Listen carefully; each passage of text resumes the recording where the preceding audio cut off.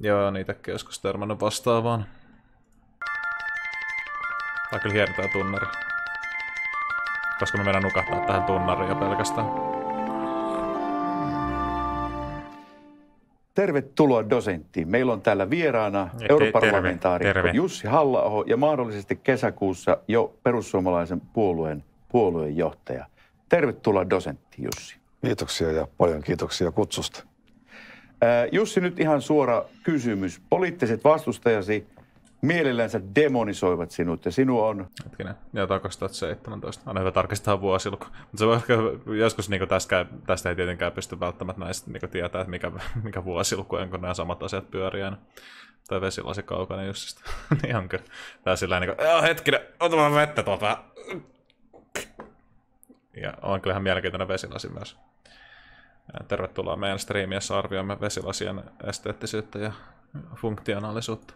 kuvattu vaikka minkälaisilla sanoilla. On haukuttu rasistiksi ja SS-mieheksi. Minkä takia juuri sinä olet joutunut heidän hampaisiinsa? Mä luulen, että tämä ei tietysti kuulosta kovin vaatimattomalta, mutta minun Mi- min, mä veikkaan, että se hakee jotain sillä, että se, sen tota, pointit on niin sivaltavia ja se pystyy tekemään niin hyviä argumentteja, että se hermostuttaa vasemmistoa. virheeni ja syntini oli se, että olin jossain määrin edellä aikaa 10 vuotta sitten tai 15 vuotta sitten, kun ryhdyin blogissani Ja itse asiassa nyt meni väärinpäin, jos sä olet, niin kuin, sä olet niin takana enemmän aikaa kuin edellä. Nämä suunnat meni nyt vähän väärin tässä lineaarisuudessa. käsittelemään maahanmuuttoon liittyviä kysymyksiä tavalla, johon ei Suomessa oltu vielä si- siinä vaiheessa totuttu. Sitten minähän maailma on muuttunut ja niistä näkemyksistä, joita olen esittänyt vuosien saatossa, on tullut, ne ovat siirtyneet, tai sanotaan, että valtavirta on siirtynyt lähemmäksi niitä kantoja, joita minä esitin silloin niin Euroopassa kuin muuallakin Suomessa, mutta valtavirta Mutta mä en tiedä, sit, se, että joku, se, että sä kannatat jotain siirtyy valtavirtaan, niin se ei tietenkään tarkoita, että se on hyvä tai oikea näkemys. Mutta eh, ehkä Jussi seuraavaksi puhuu siitä, että se ei tosiaan välttämättä tarkoita, että mä olin oikeassa. Viran ominaisuus on se, että se ei koskaan myönnä ollensa väärässä missään, vaan se leima, joka on lyöty minuun kymmenen vuotta sitten tultuani laajempaan tietoisuuteen, pysyy aika sitkeästi, vaikka tänä päivänä itse asiassa aika suuri osa poliittisesta kentästä jakaa ainakin niin kuin suurin piirtein ne näkemykset, joita olen maahanmuuttoon liittyen esittänyt. Ja sitten kun Mm, vähän tarvitsisi citations niiden. Valtavirta on siirtynyt halla päin missä todellisuudessa. Niin näin kyllä voisi sanoa, että valtavirta, koska ähm, perussuomalaisten kannatus ei ole val- valtavirtaa. On se iso puolue, mutta ei se, se on 20 prosenttia tai jotain viimeksi, kun tsekkasin tai kuulin. Mutta se, missä on oikeassa, niin on tietenkin se, että kyllähän se keskustelu on valtavirtaistunut enemmän. Se ei valtavirtaa, mutta se on valtavirtaistunut enemmän. Myös sillä tavalla, että esimerkiksi juurikin kokoomuksessa nämä ihmiset, joilla ei ole minkäännäköistä eettistä selkärankaa, kuten Ville Rydman, niin tota, on, on huomannut, että mistä kannattaa puhua, niin alkanut, alkanut siis toistamaan yksinkertaisesti vaan monia siis semmoisia retorisia asioita, mitä mitä on tullut hommafoorumilta, perussuomalaisilta, ää, aika sama asia, mutta siis kuitenkin silloin aikoinaan, Jonnet ei muista, tai varmaan muistaa kyllä, mutta hommafoorum oli tota, tää, s- tota Suomen oikeistointellektuellien keskus. Nykyään se on se kyllä sitä tänäkin päivänä, mutta se, ne, se ei ole enää ehkä niin isossa roolissa, koska se keskustelu on tosiaan valtavirtaistunut sen verran, että se ei ole enää, että nykyään myös löytyy ylilautaa esimerkiksi. Vaalien jälkeen taisi olla 24 prosenttia. Aika...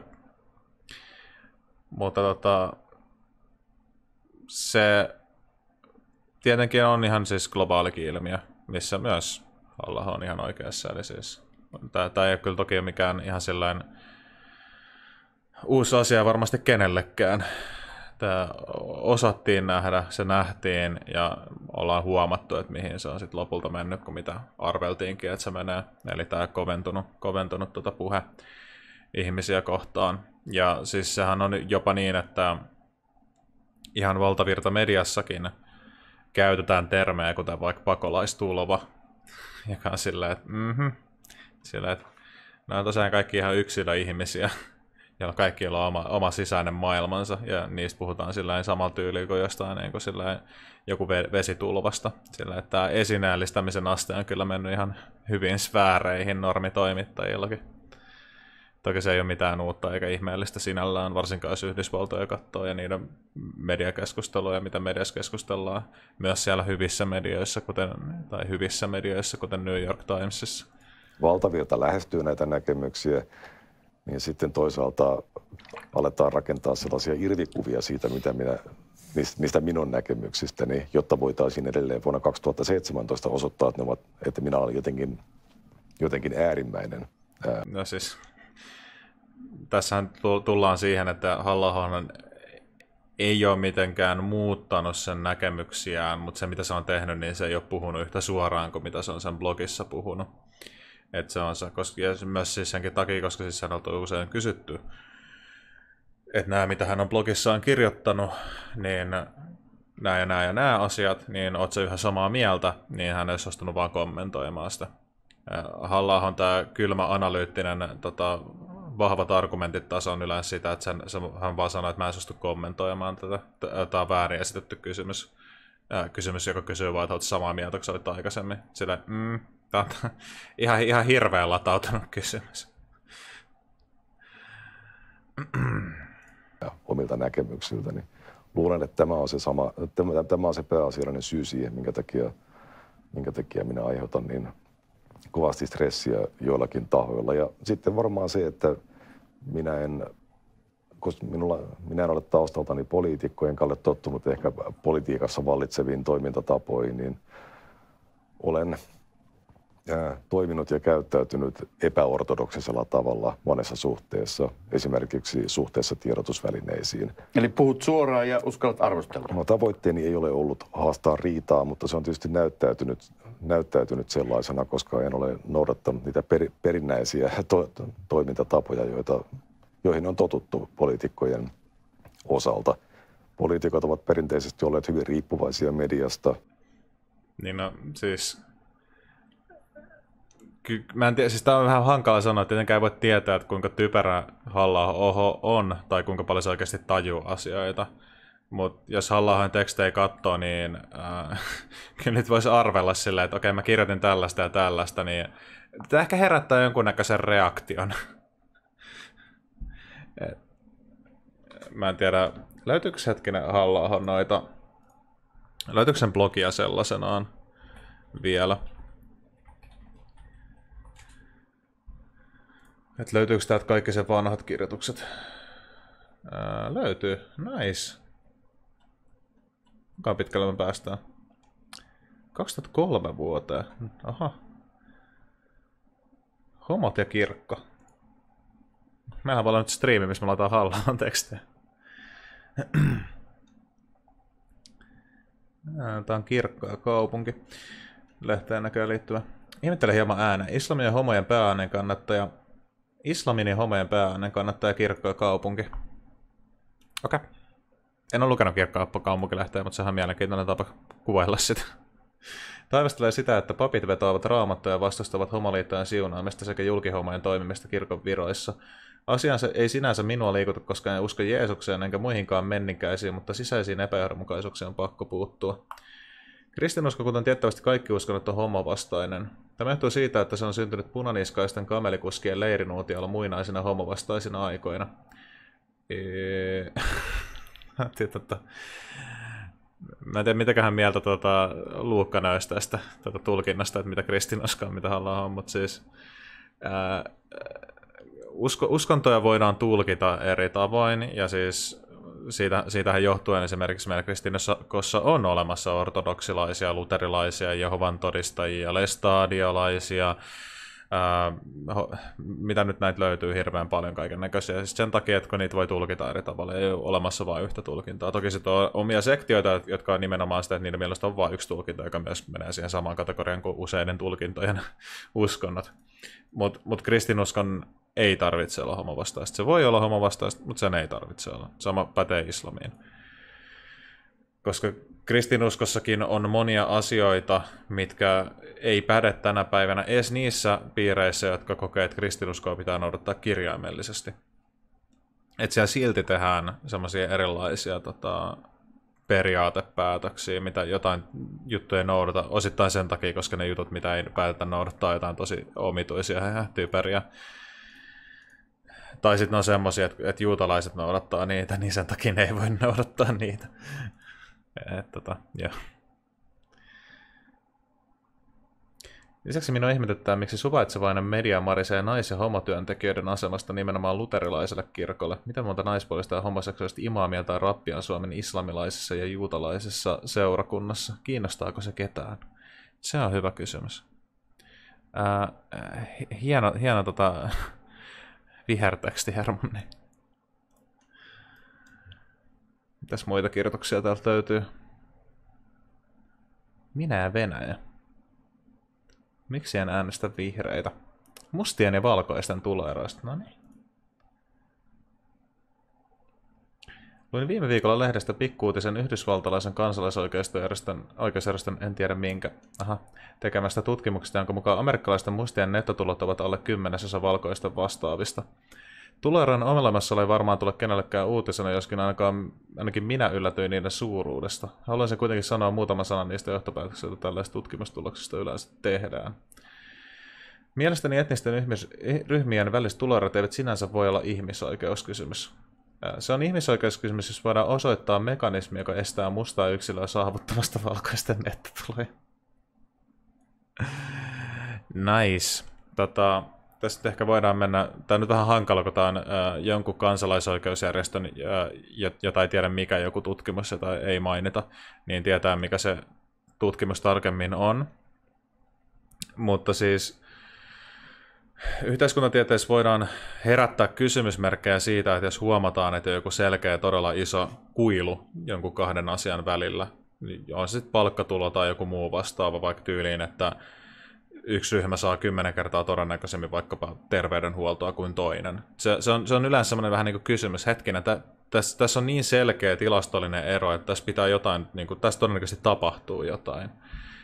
Niin e, tiedän mikä se tutkimus on tai muuta, mutta oletettavasti siinä on varmaan todettu se, selvitetty se tilastollinen kuilu ja sitten alettu selvittämään, että mitkä tekijät voi selittää sen tai keskitytty johonkin tiettyihin tekijöihin. Mutta tota, se, se itsessään kuitenkin herättää sen kysymyksen, että tässä on pakko olla jotain. Toki se voi olla joku täys anomalia, mutta kun mennään tämmöisiin te- todennäköisyyksiin, niin tämmöiset tulokset kuin, että, tota, että ne on alle kymmenesosa valkoisten vastaavista, niin se, se on aikamoinen, aikamoinen tota, todennäköisyys vaan sattumalta päätyä sellaiseen. Plus kun me tiedetään, mikä se historia on ollut. Tämä on tietyllä tavalla vähän niin kuin itsestäänselvä asia, että ne on pienemmät, koska ää, Yhdysvalloissa on kuitenkin ollut se orjuus, ja se orjuus ei vaan ole poistunut sillä tolle, ja yhtäkkiä mikään ei ole sitten enää sillä niin kuin, niitä seuraukset on kaikki poistunut. Et heti kun orjuus on lopetettu, niin mitään seurauksia sitten ei ollut tuota, tietyille väestöille siellä. Ja sitten tietenkin kaikki Jimmy Crow-lait, jotka poistuivat vasta 1970-luvulla, niin se on itsestään selvää, että ne on vaikuttanut tota, varallisuuden kertymiseen ja nettotuloihin ja muihin tekijöihin.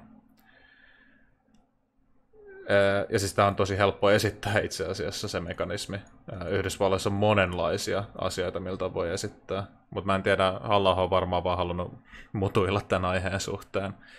Et yksi, mikä voidaan esittää, on tietenkin just se, että kun on tehty semmoista erottelevaa, segregoivaa alueellista jakoa monista eri redlining-syistä ja tällaisista, niin Yhdysvalloissa on päätynyt tietyille alueille nimenomaan ei-valkoisia.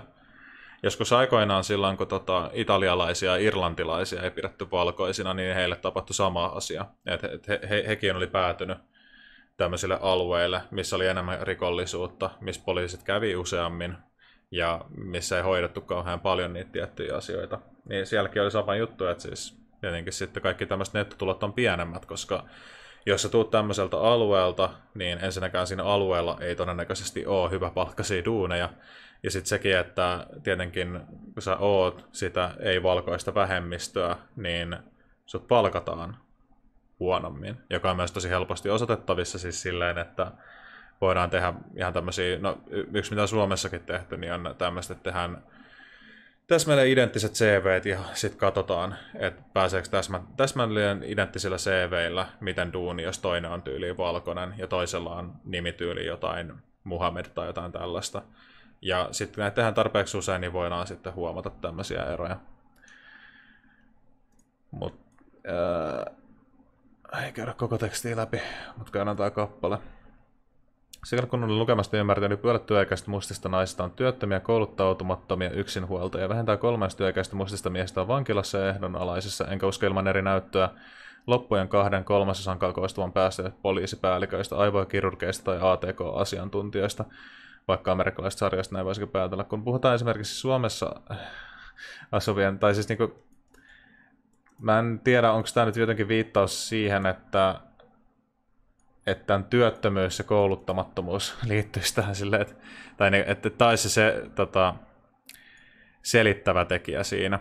Kun siis, joo, niin se onkin. Mutta mistä se johtuu, että tota, et, et niin suuri osa on työttömiä tai kouluttautumattomia. Totta kai se vaikuttaa nettopalkkaan. Sillä, vau, mahtavaa päättelyä. Tämä varmaan asiakin voitu päätellä. Mutta mut, niissä on just nämä syyt. Et tietenkin kun puhuin aikaisemmin tuosta, että on segregoituja alueita, niin samalla tavalla tietenkään siellä segregoiduilla alueilla ei ole hyviä kouluja. Tai voi olla hyviä kouluja, mutta niillä ei ainakaan hyvää mainetta. Mutta todennäköisesti niiden budjetit on huonot, niin todennäköisesti on isot, että niinku se, niillä ei ole resursseja antaa hyvää opetusta siellä. Niin sitten jos sä tuut siitä koulusta, valmistaudut, niin sitä katsotaan suoraan sillä työelämästä, okei sä oot paljon huonommasta koulusta, ah, sä oot sieltä niin kuin tota, gettokoulusta, että sä tänne töihin. Ja mä kuulen, kuulen jo vähän sun puheestakin, että sulla on vähän gettopuhetta siellä. Kun puhutaan esimerkiksi Suomessa asuvia Somalian tilastollisesta rikollisuudesta, meillä yleensä muistetaan, että ei somalaja saa käsitellä massana, vaan kutakin somaliyhteisön jäsentä on tarkasteltava yksilön hänen omilla ehdoillaan.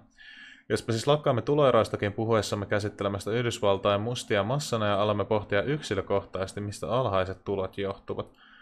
Relevantti kysymys ei näin ole, ole se, ansaitsevatko mustat keskimäärin vähemmän kuin valkoista, vaan se, ansaitseeko musta systemaattisesti vähemmän kuin samaan sosioekonomiseen ryhmään kuuluva valkoinen.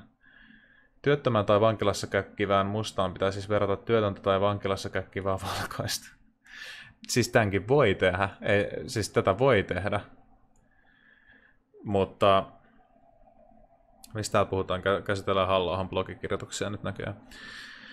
Tätä, mutta mut se, että jos sulla on suuri osa väestöstä niin kuin jakautuu sillä, että sulla on nimenomaan tummaihaisia vankilassa paljon todennäköisemmin kuin valkoisia, niin sitä voi alkaa tutkimaan. Ja siitä on huomattukin, kun näitä on selvitelty, että mistä se johtuu. Että esimerkiksi tuomiot on tosi paljon pienempiä äh, crack-kokainista kuin sitten tästä valkoisesta kokainista. Jostain jännästä syystä. Jännä juttu. Mutta tämäkin on yksi pieni tekijä. Ja siis crack-kokaini käyttää todennäköisemmin köyhät. Köyhien klusteriin menee paljon todennäköisemmin tummaihosia, sen takia niin siitä jäätät tuomiot on paljon pienempiä kuin sitten tämä valkoinen kokaini, hienompi kokaini, jota todennäköisesti käyttää rikkaammat henkilöt, ja sitten rikkaamman klusterissa on todennäköisesti valkoihoisia ihmisiä. Mutta tällöin, tällöin sulla tulee siis tilanteita, että, että sulla on hirveän paljon erilaisia tekijöitä, mitkä kokonaisuutena, kokonaisuutena kulminoituu siis siihen, että sulla on tosi paljon erilaisia sosiaalisia ongelmia. Ja silloin esimerkiksi, jos puhutaan valkoisesta työttömästä ja tummaihoista työttömästä, niin me, me voi olla yksilötasolla tilanne, milloin heillä on ikään kuin täsmälleen sama määrä vastoinkäymisiä mahdollisesti. Mutta ongelma on siinä, että sulla on aina huonommat kortit tiettyyn väestöön kuulumisessa. Eikö tämä tyyli joku Shapiran näytämällä yksilö ystävämissä ongelmassa kälinä? Öö, joo, siis tämän, tämä ongelma on siis siinä, että nämä vaatii sitä, että hei, öö, me, me ei voida käsitellä tätä aihetta kuin pelkästään yksilöiden näkökulmasta. Ja sitten toinen puoli sanoo, öö, joo, mutta mä puhun systeemin kannalta, että me puhutaan siitä, että mihin ihmiset asettuu. Ja, mutta mä haluan puhua yksilön näkökulmasta, niin sillä se, se ei vaan suostu hyväksymään käytännössä sitä argumenttia, että siitä, tai siis en tiedä, onko se argumentti. Tämä on periaatteessa vaan sitä, että toinen sanoo, että hei, yhteiskunnallisella tasolla meillä on tosi suuri eroavaisuus sen suhteen, että miten tiettyjä ryhmiä kohdellaan. Ja toinen on silleen, että ei, mutta mä haluan ottaa kaksi yksilöä, että onko näissä, jos me, jos me voidaan löytää kaksi yksilöä, eli yksi yksilö siitä toisesta ryhmästä, yksi yksilö tästä ryhmästä, jos se sattuu olemaan samanlaisia, niin ei ole olemassa systeemistä ongelmaa, joka ei tietenkään millään järjenkäytöllisellä tasolla voi pitää paikkansa. Koska totta kai sä voit valikoida kahdesta ryhmästä ikään kuin täsmälleen samat yksilöt, mutta se, siinä ei mitään järkeä tehdä niin. Ähm, mä, en, mä en tiedä mikä nyt olisi analogia, mutta analogia voisi olla sillä että tota, että et sulla on kasa paskaa ja sitten sulla on sen lisäksi tota toisessa kasassa niinku kasa erilaisia suklaapatukoita. Niin voi olla, että sieltä kasasta paskaa sattuu niinku olemaan sattumalta yksi suklaapatukka ja sen toisessa kasassa sattuu olemaan, niinku, on tietenkin pelkkiä suklaapatukoita. Niin sitten sen jälkeen se voisi todeta, että no ihan sama syödä paskakasasta kuin syödä tuosta kasasta, jossa suklaapatukoita tyyliin. että totta kai meidän pitää se, näissä tilanteissa, jos meillä on tämmöisiä isoja ryhmiä, niin ottaa huomioon, mikä se ryhmän identiteetti itsessään on. Onko historian tutkija Oula Silvenainen tuttu, jos ääriökästä historia perussuomalainen osallisuus ääriökästä kiinnostaa, niin kannattaa kuunnella Tuomas Peltomäen podcastissa, Oula kertoo asiasta. Joo, Oula Silvennainen on tuttu. Totta kai se on tuttu. Oula Silvennainen kontrolloi koko Antifa ry, tähän mä kuulen. Jos joku osoittaa, että tällainen valkoinen ansaitsee kymmenen kertaa enemmän kuin musta virkavelensä anonyymin kansalaisoikeusjärjestön tutkimuksella on ihmisoikeusimplikaatioita, puhutaan sillä ei ole.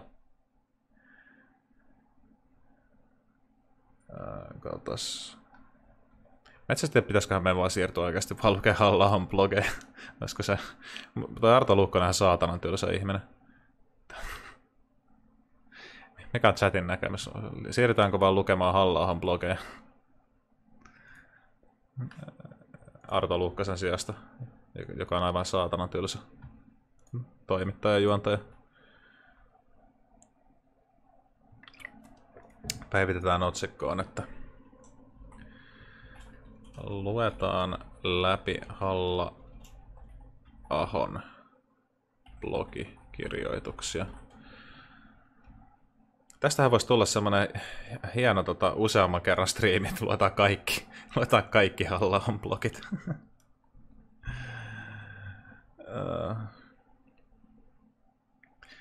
Lähestä sukutuloerokysymyksillä on jatkuva keskustelu siitä, että maahanmuuttajat asuvat keskimääräisesti ahtaamia huonoimmilla alueilla kuin valtaväestön edustajat. Mistä tämä johtuu ja mitä siitä seuraa? Suomessa asuvien suomalainen keskimääräinen perhekoko on lähellä 10 ja työttömyysprosentti 60 huijakoilla.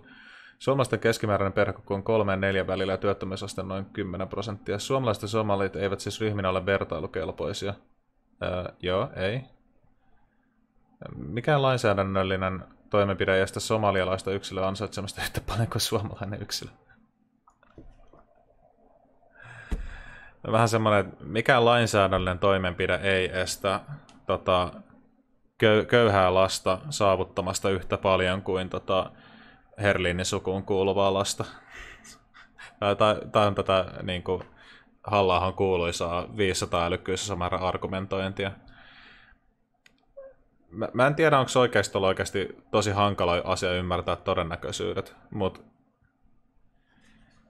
erilaiset asiat siis siinä, että miten sä lähdet tota, elämässä eteenpäin, niin mä otin nyt kaksi kasia, mutta kaksi kasia voisi olla periaatteessa, jos, mä en tiedä kuinka monelle Texas Hold'em on tuttu, mutta siis Texas Hold'emissa saat kaksi karttia aluksi, ja paras mahdollinen käsi Texas Hold'emissa aluksi on kaksi S ja huonoin mahdollinen on 72. Pari, kasipari on jo aika hyvä, semmoinen keskitason hyvä kortti. Niin tässä kun lähdetään liikkeelle, niin keskiluokkaisena niin mulla on todennäköisyydet, todennäköisyydet voittaa isommat, mutta se ei tarkoita, että mä välttämättä voitan. Joku, jolla on 72 voi vaikka saada täyskäden, ja mä saa, mulla saattaa vain jäädä tämä kasipari. Mutta se tarkoittaa sitä, että mulla on isompi lähtökohtainen todennäköisyys voittaa. Koska yhteiskunnassa tai elämässä ylipäätänsä asiat ei toimi tälleen niin kuin absoluuttisesti tämmöisessä muuttuvassa systeemissä. Eli jos lainsäädännölliset estet ei ole, niin ei ole yhteiskunnan ongelma. No ei näköjään näinkään. Ja tämä on siis tietenkin toinen asia, että siis se, että joku ei ole lainsäädäntö, liity suoraan lainsäädäntöön, ei tarkoita, etteikö siihen asiaan voisi puuttua jollain muulla keinolla. tai mahdollisesti jopa lainsäädännöllisesti, riippuen tilanteesta. Tänäkään menty ihan kunnolla syvään päähän, kyllä. Mut, mä en tiedä, kuinka vanha Halla on ollut 2005, mutta siis tai, tai jotain niin kuin samaa logiikkaa, mitä joku tyyli 13-vuotias voisi käyttää, kun se ei vielä tiedä maailmasta yhtään mitään. Et jos laki ei estä, niin ei ole olemassa mitään muita rakenteita. Tämä on, tämä on to, tosi omituista ymmärtämistä, tai siis nimenomaan ymmärtämättömyyttä. Sillä, että sit, sit pitäisi puut, niin kuin ikään kuin puuttuu tietämystä, se olisi täysin kaikki yhteiskunnalliset asiat. Täysin historia, täysin se, että miten ihmiset toimii yhdessä ja mitä tahansa muuta. Että et on olemassa vaan laki ja se on ainoa asia. On olemassa laki ja sitten se, miten yksilöt toimii. Sillä yes. Mikä laki ei kiellä Somalia tai suomalaiset valitsemasta vapaasti asuen paikkaansa Suomen rajojen siis? Yhteiskuntatieteilijä lokkautunut sisään. Tota. Ää, joo, mikä laki ei myöskään siis tota, kiellä ihmisiä asumasta muualla kuin Helsingistä, mutta jostain syystä ihmiset päätyy Helsingin sisällä. tota. Ja sitten jos puhutaan sitten tietenkin siitäkin, että, että minkä takia yhteisöt päätyy omien kaltaistensa joukkoon, tai mikä se onkaan se koettu omien kaltaisten kategoria, niin se on yleensä jonkunnäköinen paine ulkoa päin. Et esimerkiksi ihan yksinkertainen esimerkki, vaikka jos miettii vankiloita, joissa itse asiassa tulee aika vahvasti tämmöisiä rodullista niin kuin yhteenkuuluvuutta ja muodostuu sitä lähinnä just sen väkivallan pelon takia siellä, koska tota, sie- siellä, siellä tota, voi saada aika helposti turpaan sitten mahdollisesti joltain arjalaiselta, jos tota, sulla on väärä ihonväri, joten todennäköisesti sä et hengaile silloin arjalaisten kanssa siellä vankilassa. Mutta myös sekin, että jos yhteiskunta hylkii ja äh, mahdollisesti vaikka homofobiaa, niin silloin myös seksuaalivähemmistöt päätyy sitten tietenkin omiensa pariin, koska ne voi elää silloin vapaasti. Siis niin ei tarvitse piilotella sitä, mitä ne on. Mutta ihan samalla tavalla etnisissä vähemmistöissäkin. Että jos on laajaa yhteiskunnallista syrjintää heitä kohtaan, niin he, yllättäen sä et voi olla kaveri jonkun kanssa, joka on sillä, että hei, mene sinä takaisin sinne, missä olet tullut, niin se on vähän vaikea olla tämmöisen tyypin kaveri. Eli tietenkin se johtaa sitten siihen, että ne päätyy niihin omiin yhteisöihin. ja siis silloin se ongelma siinä on nimenomaan se laaja yhteiskunnallinen rasismi, mikä siinä on. Tietenkään sitä ei voi vaan lainsäädännöllisesti korjata, mutta ei kukaan yleensä ole esittänytkään, että hei, meidän pitää tehdä joku laki, joka kieltää rasismin tyyliin, ja sen, takia, sen jälkeen rasismia hän hallis näihin se juttuihin ja oikeasti ei, mitään, ei pysty arvioimaan, mitä toi, jonkun pään sisällä liikkuu. Mikään laki ei kiellä köyhiä ostamasta kartona Westendistä. Jetsulle, miksi et saa astunut? Mikään laki ei kiellä perustamasta supernaista yritys, suuryritystä. Ah, totta. Jostain syystä Hallis ei nosta esille sitä, ettei positiivinen turvapaikkapäätös oikeuta työntekoon. Hallis nostaa todennäköisesti hyvin valikoivasti asioita.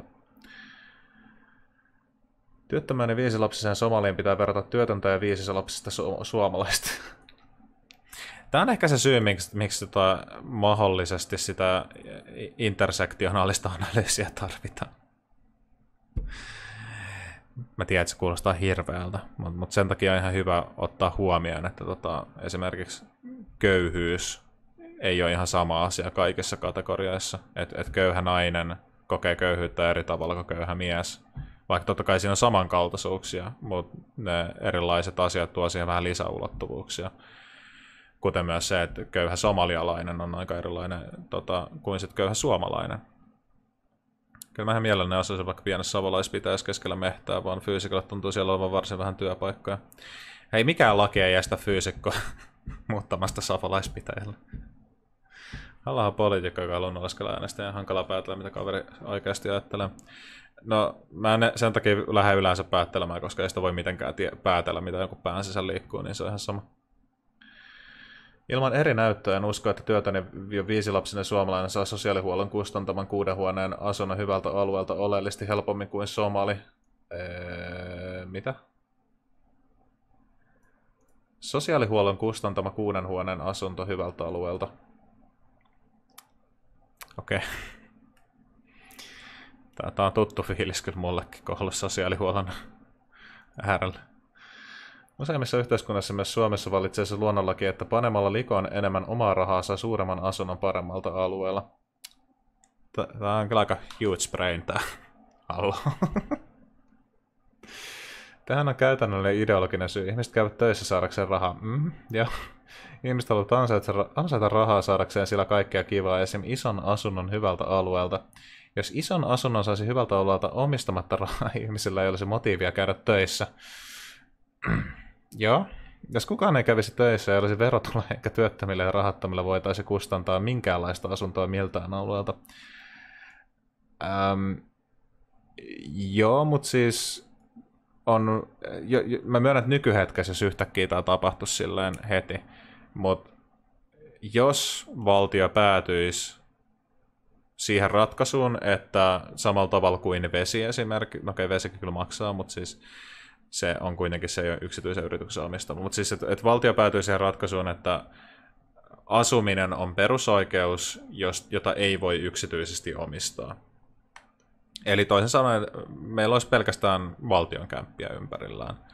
Ja en mä tiedä, mikä tahansa systeemi se nyt olisikaan, mutta siis kyllä semmoinen yhteiskunta pyörisi. Ei se todennäköisesti itse asiassa paljon paremminkin, koska se tasa-arvostaisi hyvin paljon ihmisiä työmarkkinoille ja sitten siihen, että ne pystyisi vähentämään hyvin paljon niitä sosiaalisia ongelmia, mitä liittyy siihen, että sulla menee niin paljon sun palkasta vuokraa, tietenkin myös asunnottomuus itsessään, ja sitten tietenkin se, että kun jos miettii, mi- miten, miten tuommoinen kämpän omistajuus toimii, eli se on sitä, että jollakin on valmiiksi omaisuutta, se hankkii velkaa tai ostaa suoraan jonkun kämpän, mikä on jo rakennettu, ja sitten se vuokraa sitä eteenpäin jollekin tyypille, joka antaa sen palkkatuloista sille osan mä en ole ihan varma, että mitä tämä tyyppi, joka omistaa tämän kämpän, niin tuo niin kuin materiaalisessa mielessä taloudelle. Niin jos olisi valtion omistuksessa ja rakennuttamia, tai hei, siis nekin voi olla vaikka yksityistä yrityksen rakennuttamia, mutta valtion omistuksessa, niin silloin tämä ylimääräinen rahasumma niin menisi suoraan sitten jotenkin ostovoimana ää, talouden kiertoon. Ja tietenkin myös sit se, että se mahdollistaisi ihmisille sen, että asuminen on perusoikeus, mutta myös sen, että niillä ei tarvitse kuumotella noita kämppäasioita, joka varmasti antaisi heille paljon vähemmän stressiä ja tietenkin tekisi heistä tehokkaampia työntekijöitä, mikä on meille kaikille tärkeää. Se kanempi vaan pistäisi 450 tonnia likoon, niin me kaikki osattaisiin West Endissä vitun köyhättäjä tai jo. Niin, se on tosi yksinkertaisia asioita, mitä köyhättäjä tai jo. Jännä juttu kyllä.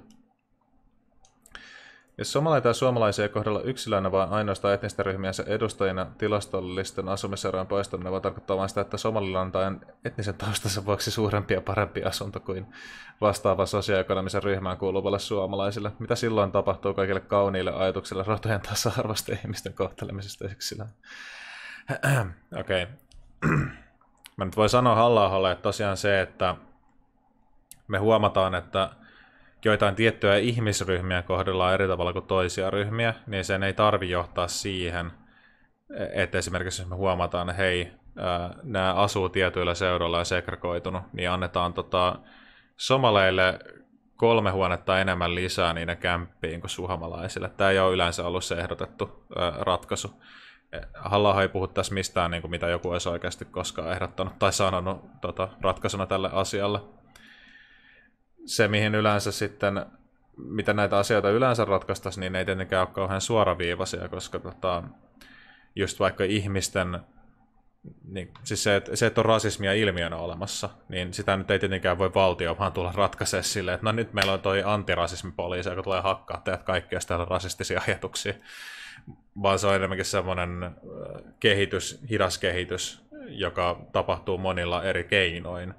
Yksi on tietenkin siis se, että kaikkeen rasistiseen toimintaan puututaan. Meillä on siis sitten tota, hyvin paljon, tietenkin tämä nojautuu paljon enemmän ää, aktivismiin ja ei ulkoparlamentaariseen toimintaan. Mutta se ei tietenkään ole mikään sellainen asia, mikä ihan hetkessä ratkaistaisi niin kuin muutamassa vuodessa. Vaikka meillä olisi kaikki maailman resurssit, niin emme välttämättä ratkaistaisi rasismia sillä kolmessa vuodessa ratkaisu on muutenkin vähän omituinen sana kyllä tähän sillä, että miten ratkaista rasismi.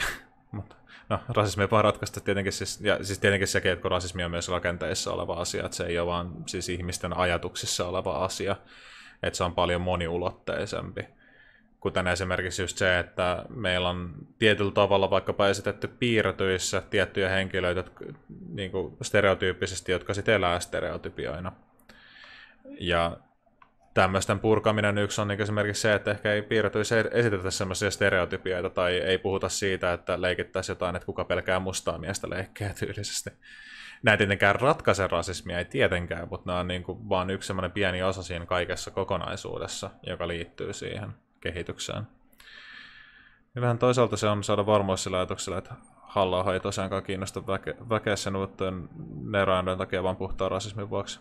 Niin.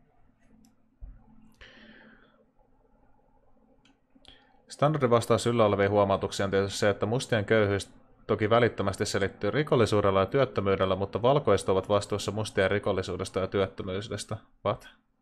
Onko tämä standardivastaus? Standardivastaus on se, että rasismi rakenteena on vastuussa. Ei, ei, ei yksilö valkoiset, jotka on päättänyt yksilöinä toimia pahalla tavalla. Se, se on se standardivastaus. Ja sitten se standardivastaus on, että hei, tämmöisiä rakenteita voisi lähteä purkamaan. Ja tota, tietenkin sit se, miten rakenteet on, riippuu vähän siitä, mikä on ollut se historiallinen tilanne. Ja jossakin tilanteessa on ihan tarkoittanut sit suoraankin tämmöistä laillista, laissa olevaa segregaatiota, kuten Jim Crow-lait silloin 1970-luvulla asti Yhdysvalloissa tai e- Etelä-Afrikassa oma segregaatiojärjestelmänsä. Yhdysvalloissa tietenkin Yhdysvalloissa on hyviä monia asioita, mitä pitäisi korjata. Ja äh, meillä ei, riitä tämä loppuaika tästä striimistä siihen, että ne, käytäisiin ne kaikki asiat läpi. Mutta mut siellä on esimerkiksi ongelmana tosiaan se, että vaikka että poliiseja menee liikaa niihin lähiöihin, joka aiheuttaa paljon enemmän ongelmia kuin se ratkaisee ongelmia. Mutta niin tämmöisiä, tämmöisiä voitaisiin pikkuhiljaa purkaa ja se kyllä auttaisi siihen tilanteeseen. Tällä pitäisi kuitenkin taas osoittaa se mekanismi, jolla valkoiset ylläpitävät mustien työttömyyttä ja rikollisuutta. Vastaukset ei kelpaa rasistiset piilorakenteet ja piilosyrjintä. Ää, mä kyllä tiedä, onko ne erityisen piilossa ne rakenteet, varsinkaan Yhdysvalloissa. Jos ne ovat piilossa, miten niiden olemassaolo voidaan todentaa? Tämä ehkä halla auttaisi, jos olisit ikinä koskaan katsonut yhteiskuntatieteiden suuntaa elämässä, mutta niin kuin Esimerkiksi ne voidaan todeta silleen, kuten mä sanoin aikaisemmin tuosta yhdestä yksinkertaisesta CV-esimerkistä, että sä voit kokeilla sitä, että sä laitat Suomessa erilaisille työnantajille kaksi identtistä CVtä ja sitten siinä ainoa tekijä on nimi, niin sitten jos sieltä tulee tosi isoa eroa niiden CViden vastaanottamisen välillä, niin sä voit löytää sen rakenteen, joka on piilossa. Tämä on, tämä on näin hankalaa hallaa Säkin varmaan tutkijana tiedät, että asiat on periaatteessa piilossa ennen kuin ne tutkijana löydetään. Tämä on jännä asia tietää, miten se toimii. Ainoa todiste piilosyrjinnän olemassaolosta on se, että mitä siellä halutaan selittää, tai siis mustien kehno asema. Mitä? Ainoa todiste piilosyrjinnän olemassaolosta se, mitä sillä halutaan selittää. Öö, niin siis se, että mustilla on huono asema. No, Toki jos, on argument, jos, jos joku tekee argumentin ää, siinä muodossa, niin se on väärä argumentti. Olet ihan oikeassa 900 älykkyysosamäärän halla mutta tämä argumentti ei ole esitetty tässä muodossa. Eli jos joku esittäisi siis semmoisen kehäpäätelmäisen argumentin, että, että se sanoo, että rasismia on olemassa, koska mustat kokee syrjintää tai rasismia, niin jos tämä on se argumentti, niin joo, tai se, jos, jos rasismia on, tai se, jos joku on huonossa asemassa, niin silloin tarkoittaa, että rasismia on olemassa. Joku on huonossa asemassa, eli se on rasismia. Ja kaikki maailman asiat tiedetään ihan huvikseen, vaan käyttää hullun aikaa resursseja tutkimukseen. Näin se on. Mitä joku vaatii, että poliitikko olisi perehtynyt kun huutana? No siis, halla vielä on yliopistokoulutus. Mä en toki se, mitä se oli, kirkkoslaavia tai tällaista. Et mä en ihan nyt tarkalleen tiedä, miten, mikä siinä on se niin metodologia. Mä en ole ihan kauheasti siihen perehtynyt. Mä en tiedä, mitä se toimii, mutta mä olettaisin, että siinäkin pyritään tota, luomaan, t- luomaan hyvää metodologiaa ja nimenomaan löytämään asioita ja perustelemaan, niin mä olettaisin, että tämmöistä rakennetta siinä kuitenkin on myös siinäkin tota, tieteen alassa. Nämä on samanlaista kuin se, että maailmankaikkeus on todiste Jumalasta ja Jumala on näin ollen pätevin selitys maailmankaikkeudelle. Tämä on tämä high IQ-argumenting, mitä me ollaan aina nähty halla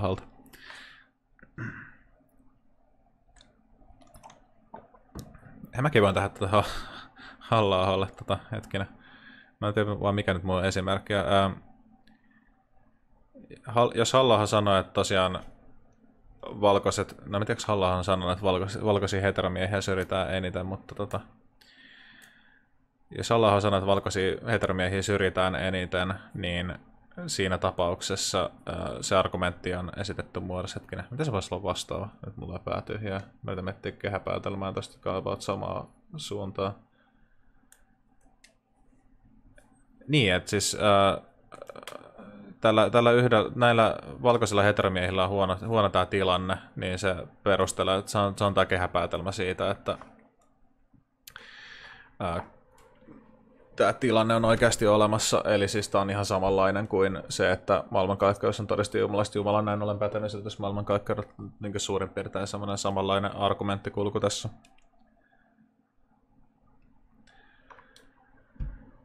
Kuinka pitkä tämä oli? Oh, vielä, vielä liittää. Voidaan osoittaa, että mustien keskimääräisesti pienet tulot johtuvat mustien keskuudessa keskimäärin yleisemmästä rikollisuudesta ja työttömyydestä. Öö, joo, siis ne, ne, ne faktorit, jotka siis on tota, johtaa siis siihen pienempiin tuloihin, mutta nämä, nämä johtuu siis monista rakenteellisista tekijöistä – kuten aikaisemmin käyty läpi siis siitä, käyty esimerkki läpi siitä, että tota, on ollut segregoidut alueet, joka tietenkin johtaa työttömyyteen. Ja myös se, että tummaihoisia todennäköisemmin tota, pidätetään ilman syytäkin Yhdysvalloissa ja monia muitakin asioita, niin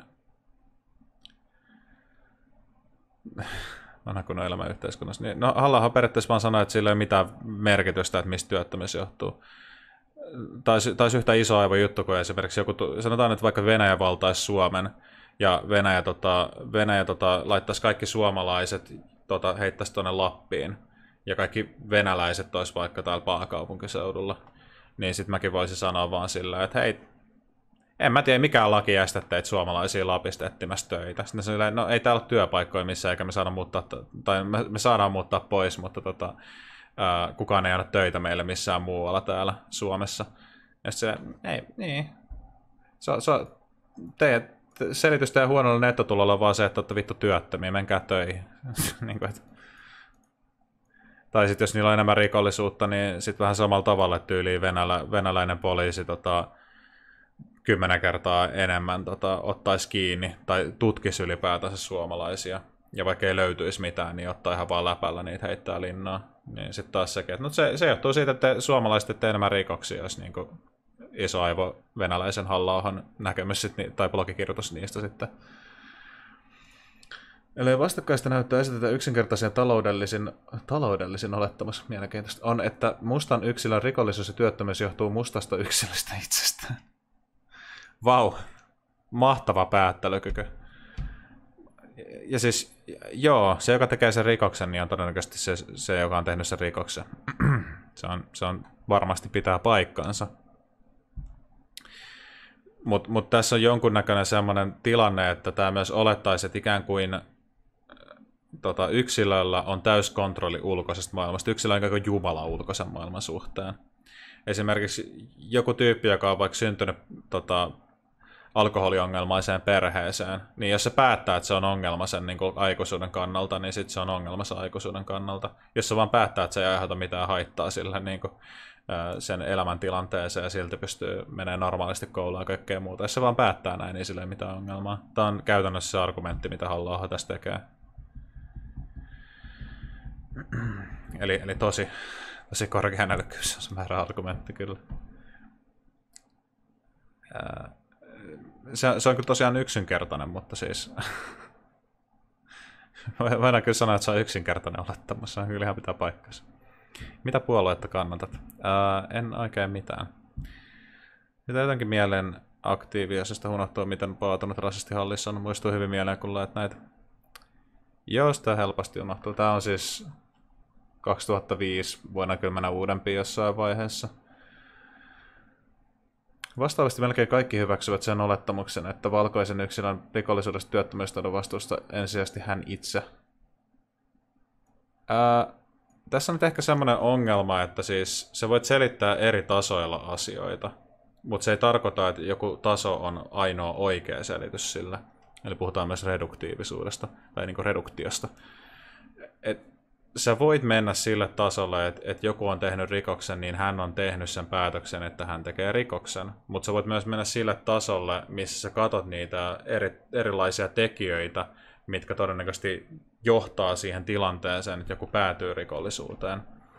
Eli esimerkiksi jos sulla on semmoinen alue, missä työttömyys on suuri ja siellä ei pysty saamaan töitä, niin on todella vaikea saada töitä, ja ainoa tapa, mitä sä voit jollakin tavalla ruokkia sun perhe on rikollisuus.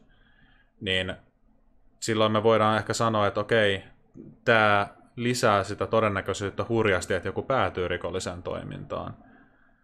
Tai sitten me voidaan sanoa, että tämä tyyppi päätti tähän rikoksen.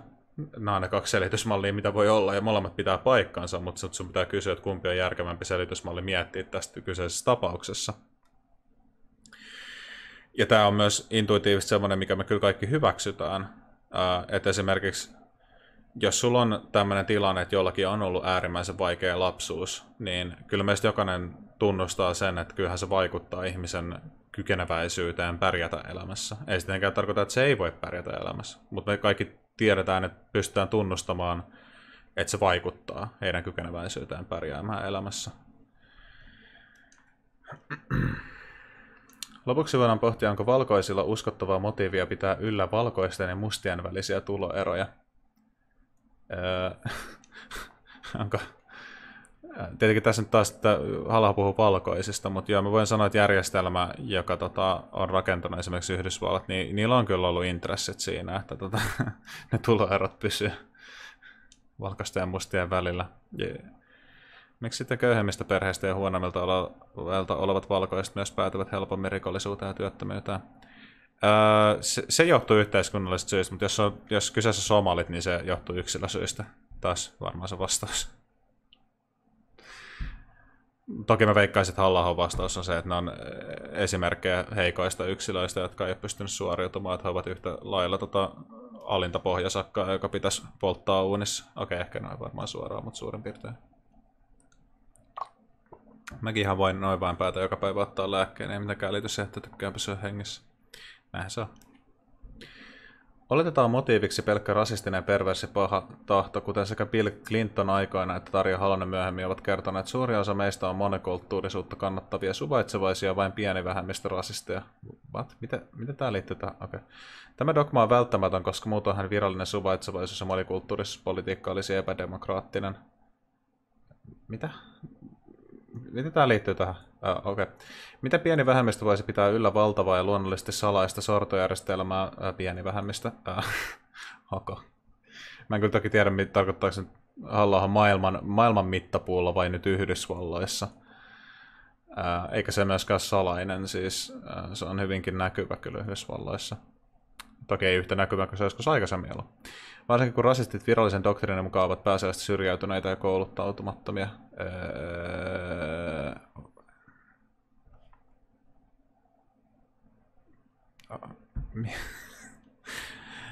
Tämä on kyllä aika meemi, meemi, meemilogia tämä tapa käydä tätä keskustelua, mutta siis mä, mä en tiedä mihin viitataan virallisella doktriinilla, mutta tota, joo, on siitä tehty vitsiä, että rasistit ovat syrjäytyneitä kouluttautumattomia, mutta kuten me tätäkin tekstiä lukiessa voidaan huomata, niin rasistit voi myös olla hyvin kouluttautuneita henkilöitä, joilla on myös huomattu, että hyvin kouluttautuneet henkilöt voi olla täysin kujalla siitä, miten tiede toimii.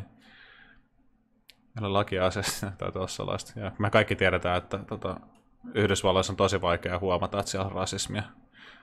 Pitää oikeasti lähteä etsiä Yhdysvalloista rasismia, sitä on tosi hankala löytää, missä sitä ei näy.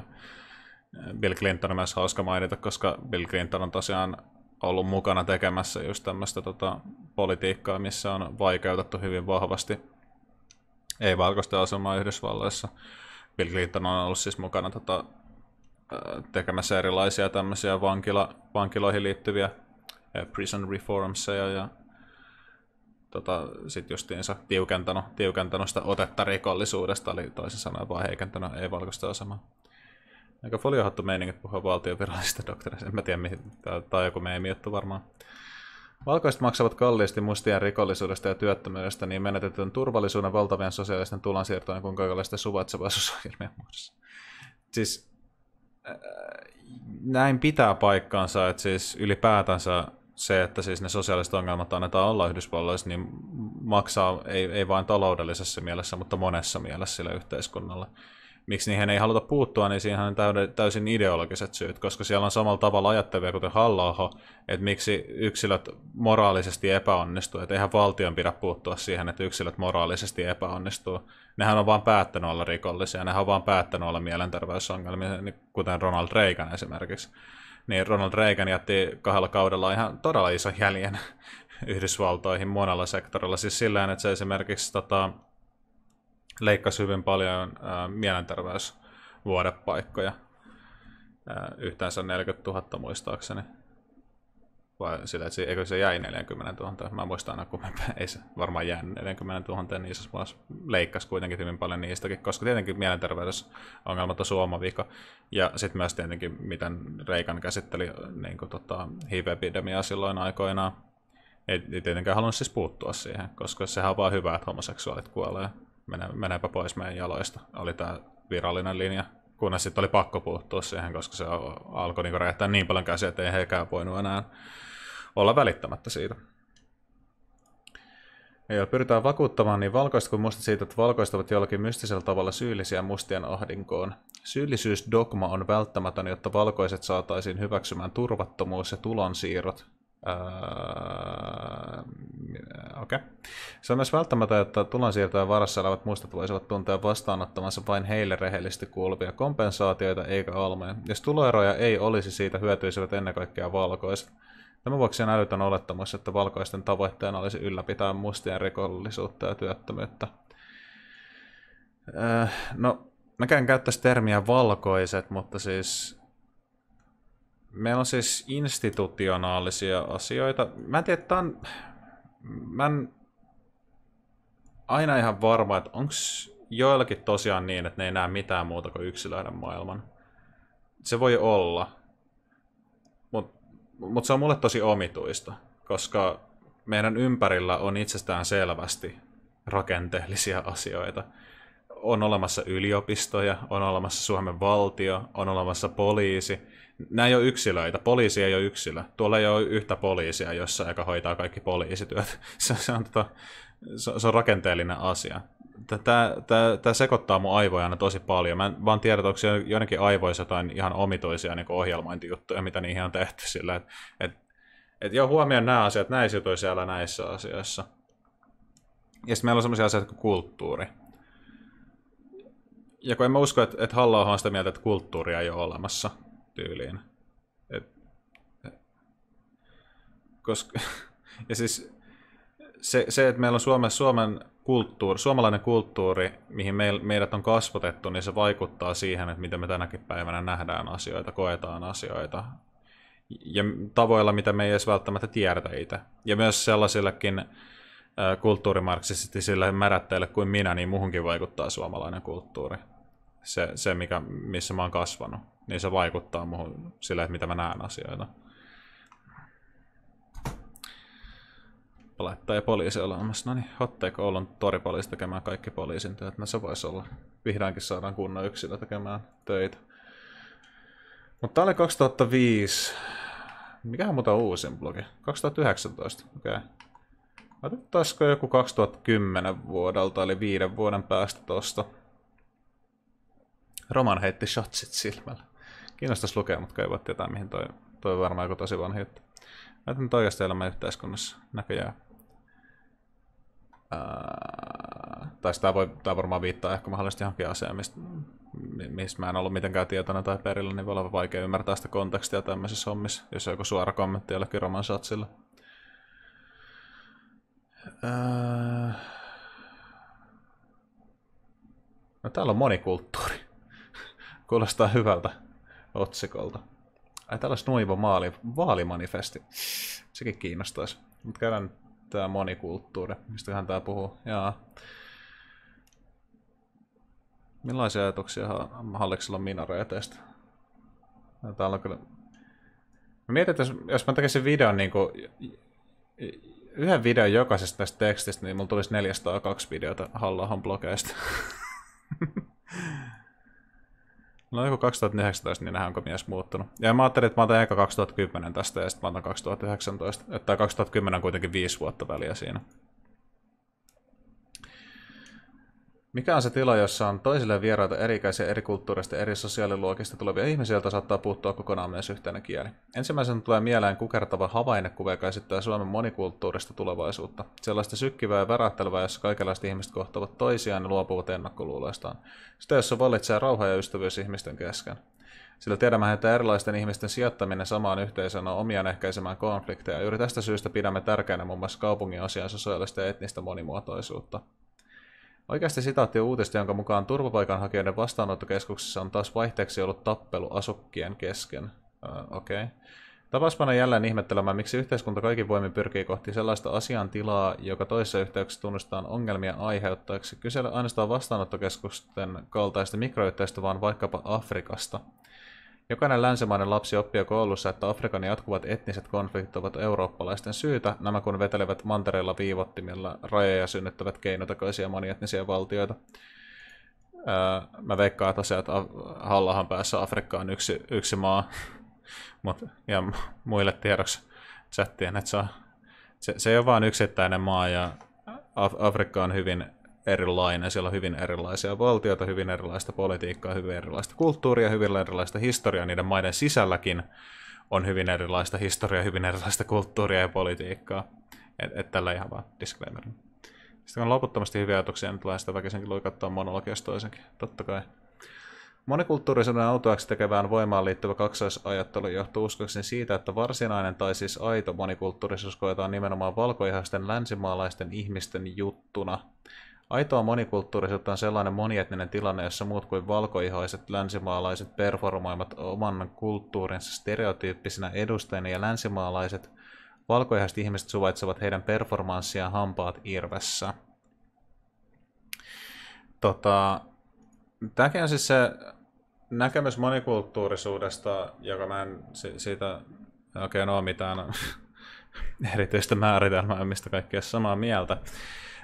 Mutta se on sillä mielenkiintoinen, että kun monikulttuurisuushan on pakollinen asia, ellei sä nimenomaan väkivaltaisesti pakota monokulttuuria. Sitähän pitää nimenomaan pakottaa, koska siis esimerkiksi jos me katsotaan Suomeakin historiallisesti pitkältä aikajänteeltä, mä voin antaa spoiler, niin Suomi ei ollut jatkuvasti tämmöinen suomalainen kulttuuri, mitä se on tänä päivänä niin kuin tästä koko Suomen historian aikana, että siis tällä spoilerina, niin jos sä luot yhtenäisen kulttuurin, niin sun pitää tehdä sitä väkivalloin, eikä se oikeastaan silloinkaan onnistu jonkun maan rajojen sisällä. Ei silloin, vaikka sä tota, laittaisit ne kaikki tekee niitä tota, biologisia nettitestejä etsisit kaikki 98 prosenttia vähintään valkoiset arjalaiset, niin silloinkin se tulee isoja ongelmia siinä, että sä saisit oikeasti monokulttuurin syntymään. Ja syyn on tietenkin siis se, että kun ihmisiä on tietyllä alueella paljon, niin ihmiset ei ole kaikki keskenään, tekemässä, keskenään tekemisissä jatkuvasti, vaan sinne tietenkin tulee erilaisia pieniä yhteisöjä. Ja sitten mitä enemmän sitä ikään kuin proximiteettia on näiden yhteisöjen välillä, niin sen enemmän ne alkaa olla erilaisia toisistaan. Niin kuin tosi hankala pääteltävissä oleva asia tälläkin kertaa tässä striimissä. Niin sitten tietenkin voidaan sanoa, että joku kulttuuri, että esimerkiksi me puhutaan nyt tämänhetkistä suomalaista kulttuurista, ihan meillä täälläkin kulttuurieroja, puhutaan tosiaan alakulttuureista tai muista, että on kulttuurieroja siis, että onhan helsinkiläiset aika erilaisia kuin vaikka lappilaiset. Mutta sitten voidaan, sit joku tota, voisi sanoa tietenkin, että onhan silti lappilaisilla ja helsinkiläisillä jotain samaa, niin että, että kyllähän me puhutaan suomen kieltä, ää, me kaikki tiedetään, kuka oli tota Matti Nykänen ja kaikki muut tämmöiset hienot asiat, mitä liittyy suomalaiseen kulttuuriin. Mutta se on silti aika keinotekoista siinäkin tilanteessa. Ja sitten siellä on monia semmoisia, en mä tiedä nyt sanoisinko niitä piilokulttuurillisiksi tekijöiksi, mutta ne on kuitenkin semmoisia, että jos sä helsinkiläisenä meet Lappiin, mä en tiedä miksi mä otin Lapin esimerkiksi, mutta otin nyt vaan, niin sen heti kuulee sun äänestä ja sen näkeekin sun käytöksestä. Et periaatteessa se oikeastaan näkeekin sun käytöksestä, että oot sä helsinkiläinen ennen kuin sä avaat sun suuta. Et, toki me voidaan silti puhua tästä suomalaisesta yhtenäistä kulttuurista, joka, jota meillä ei oikeasti ole olemassa. Ja ikään kuin sanoa, että voitaisiinko me pyrkiä tämmöiseen monokulttuurisuuteen. Niin siis, joo, voidaan, mutta mut silloinkin se tarkoittaa sitä, että meidän pitäisi tuhota kaikki muut kulttuuriset elementit, mitä tänne tulee, koska me tietenkin meillä on esimerkiksi suomenruotsalaisia täällä. Uh, ja on, on meillä muitakin tämmöisiä pitkäaikaisempia uh, tota, vähemmistöjä täällä. Niin tota, et, et, ne pitäisi assimiloida, että ne pitäisi pakottaa, että niitä pitäisi kieltää uh, niitä tiettyjä kulttuurillisia asioita, pitäisi laittaa joku poliisi valvomaan, niin sitä ei tapahdu. Ja sitten tietenkin voidaan vaikka puhua sit siitäkin, että onko se enemmän tai vähemmän monikulttuurisesta, mutta kun sekin on aika vähän omituinen asia yrittäisi mitata tietyllä tavalla, onks, koska iso monikulttuurisuus, aina mikä tuli vaan, tulisi vaan mieleen on se, että sulla on tosi paljon erilaisia etnisiä vähemmistöjä, sille joo, mutta siinäkin itse asiassa tapahtuu se, aha, siinäkin tapahtuu se, että tota, nekin alkaa sitten häiventymään pikkuhiljaa. Vähän tietenkin riippuu, että minkälaista, minkälainen se tilanne on, koska jos sulla on tosi segregoitunut yhteiskunta, että sulla on selkeästi siis tota, ison luokan rasismia niin kuin niitä muita vähemmistöjä kohtaan, niin tietenkin ne pysyy tiiviisti segregoituna ja se kulttuuri säilyy siellä. Itse asiassa on jännä juttu, sä voit periaatteessa rasismilla säilyttää paremmin monikulttuurisuutta kuin toisinpäin, koska tota, mitä vähemmän sulla on rasistisia rakenteita, niin se vähemmän sä niin kuin ikään kuin segregoit sitä niin kulttuuria, koska, silloin, koska ne ihmiset on silloin enemmän tekemissä muiden kanssa, niin ne on pakko ikään kuin tota, eristäytyä muista ihmisistä.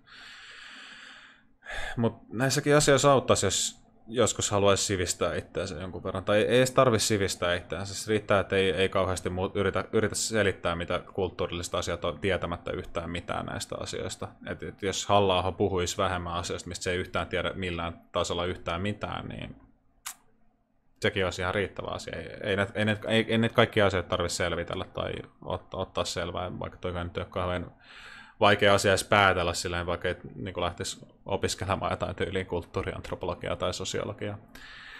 Jos keskustellaan vielä alakulttuurit, niin niistä menee hankalaksi alakulttuurit, kun ne on mitenkään kansallisvaltioiden rajoja tai etnisyyksiä. Norttelee sillä tavalla, että kuitenkin alakulttuuri on tietynlainen siinä tietyssä maassa, missä se alakulttuuri on. Että siinä, on siinä on kuitenkin se, mutta tietenkin internetin kannalta kaikki tällaiset asiat, niin se tietenkin sit vähän on erilainen, tai niin kuin on samanlaisuuttakin siis globaalisti. Mutta esimerkiksi jos miettii meemikulttuuria, niin Suomella on aika omanlainen roolinsa siinä esimerkiksi. Että tota, just esimerkiksi jos miettii Dolania, niin tota, ei varmaan tule yllärinä, jos mä sanon, että Akuankka on ollut iso asia täällä Suomessa, niin tota, se on yksi jännä kulttuurinen asia, mitä se näkyy, että niin täältä, täältä on lähtenyt liikkeelle hyvin vahvasti Dolan meemejä sitä mä nyt ehkä tiedä, jonkun pitäisi ehkä tutkia, joku voisi ehkä tutkia tällä, en tiedä, sanoisiko sitä etymologiaksi periaatteessa, kun sitä tietyllä tavalla on meemien kanssa, mutta joku voisi tutkia sitä, että mi, mi, miten spurdospärde, niin tota, miksi, miksi, miksi tota pedopear on saanut suomalaisessa kulttuurillisessa viitekehyksessä spurdospärdren, niin kuin, että miksi juuri spurdospärt se pedospermint jutut, että tota, mä en tiedä, koska nyt kun mä alan miettiä tätä asiaa, niin tota, ehkä joku suomen kielessä on semmoinen, että se herättää halua tehdä tuollaista kielellistä juttua, tuommoista spedr, mutta mut toisaalta se on kyllä muuallakin, en mä tiedä. Hmm. Siitä jollekin vinkki gradua varten, missä me oltiin täällä. Ää, varmaan tosi ihan sama. Ää, monikulttuuriselle autuaksi tekemään voimaan liittyvä kaksosajattelu johtuu uskoisin siitä, että varsin ei toimivattiin. Muunlaiset monietniset tilanteet eivät ole aitoa monikulttuurisuutta, ne ovat vain monietnisiä tilanteita. Siksi ne tarkastelu ei liity samanlaista yletöntä tunnekuohuntaa kuin aidon monikulttuurisuuden tarkastelu. mitä se nyt oli? Mä luin, mutta mä en yhtään ymmärtänyt. Varsinainen tässä aito monikulttuurista on, aitoa monikulttuurista on sellainen monietninen tilanne, jossa muut kuin valkoihoiset länsimaalaiset performoivat oman kulttuurinsa stereotyyppisen... Vittu tää ei osaa kirjoittaa. Okei, ehkä se oppii viiden vuoden päästä kirjoittaa, kun oon tässä vuoden Mutta siis aito monikulttuurisessa on äh, monietninen tilanne, valkoihoiset performat... Ja, äh, mä, mä en tiedä, mä, mä en jaksa ymmärtää, mitä tuolla lauseet tarkoittaa. Ehkä nurisen kurisinta on se, että sana suvakki käytetään haukkumasanana. Lähtökohtaisesti ihmistä ei pitäisi suvaita erilaisista taustoista tulevisia ihmisiä. Ei tietenkään. Nämä ne vahvat konsonantit. Se voi olla, joo. Mutta sitä ei saa sanoa, että näin on tapahtunut. Ah.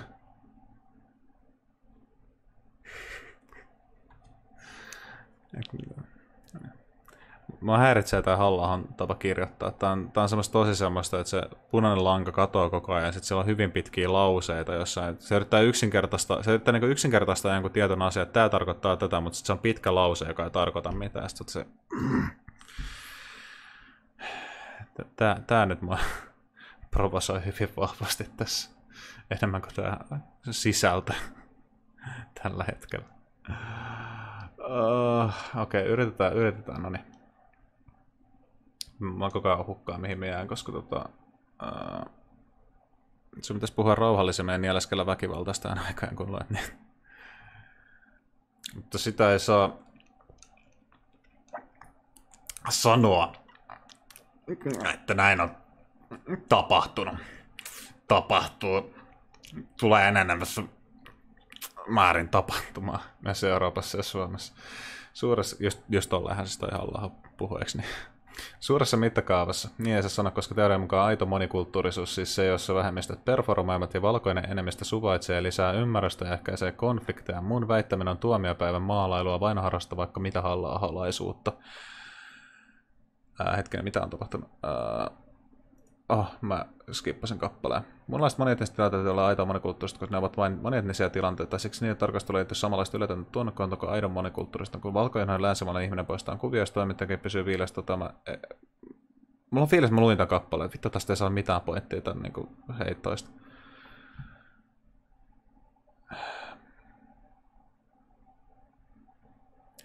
Mut siis toki meillä voi olla tilanteita, missä siis jotkut ryhmät ei tule keskenään toimeen.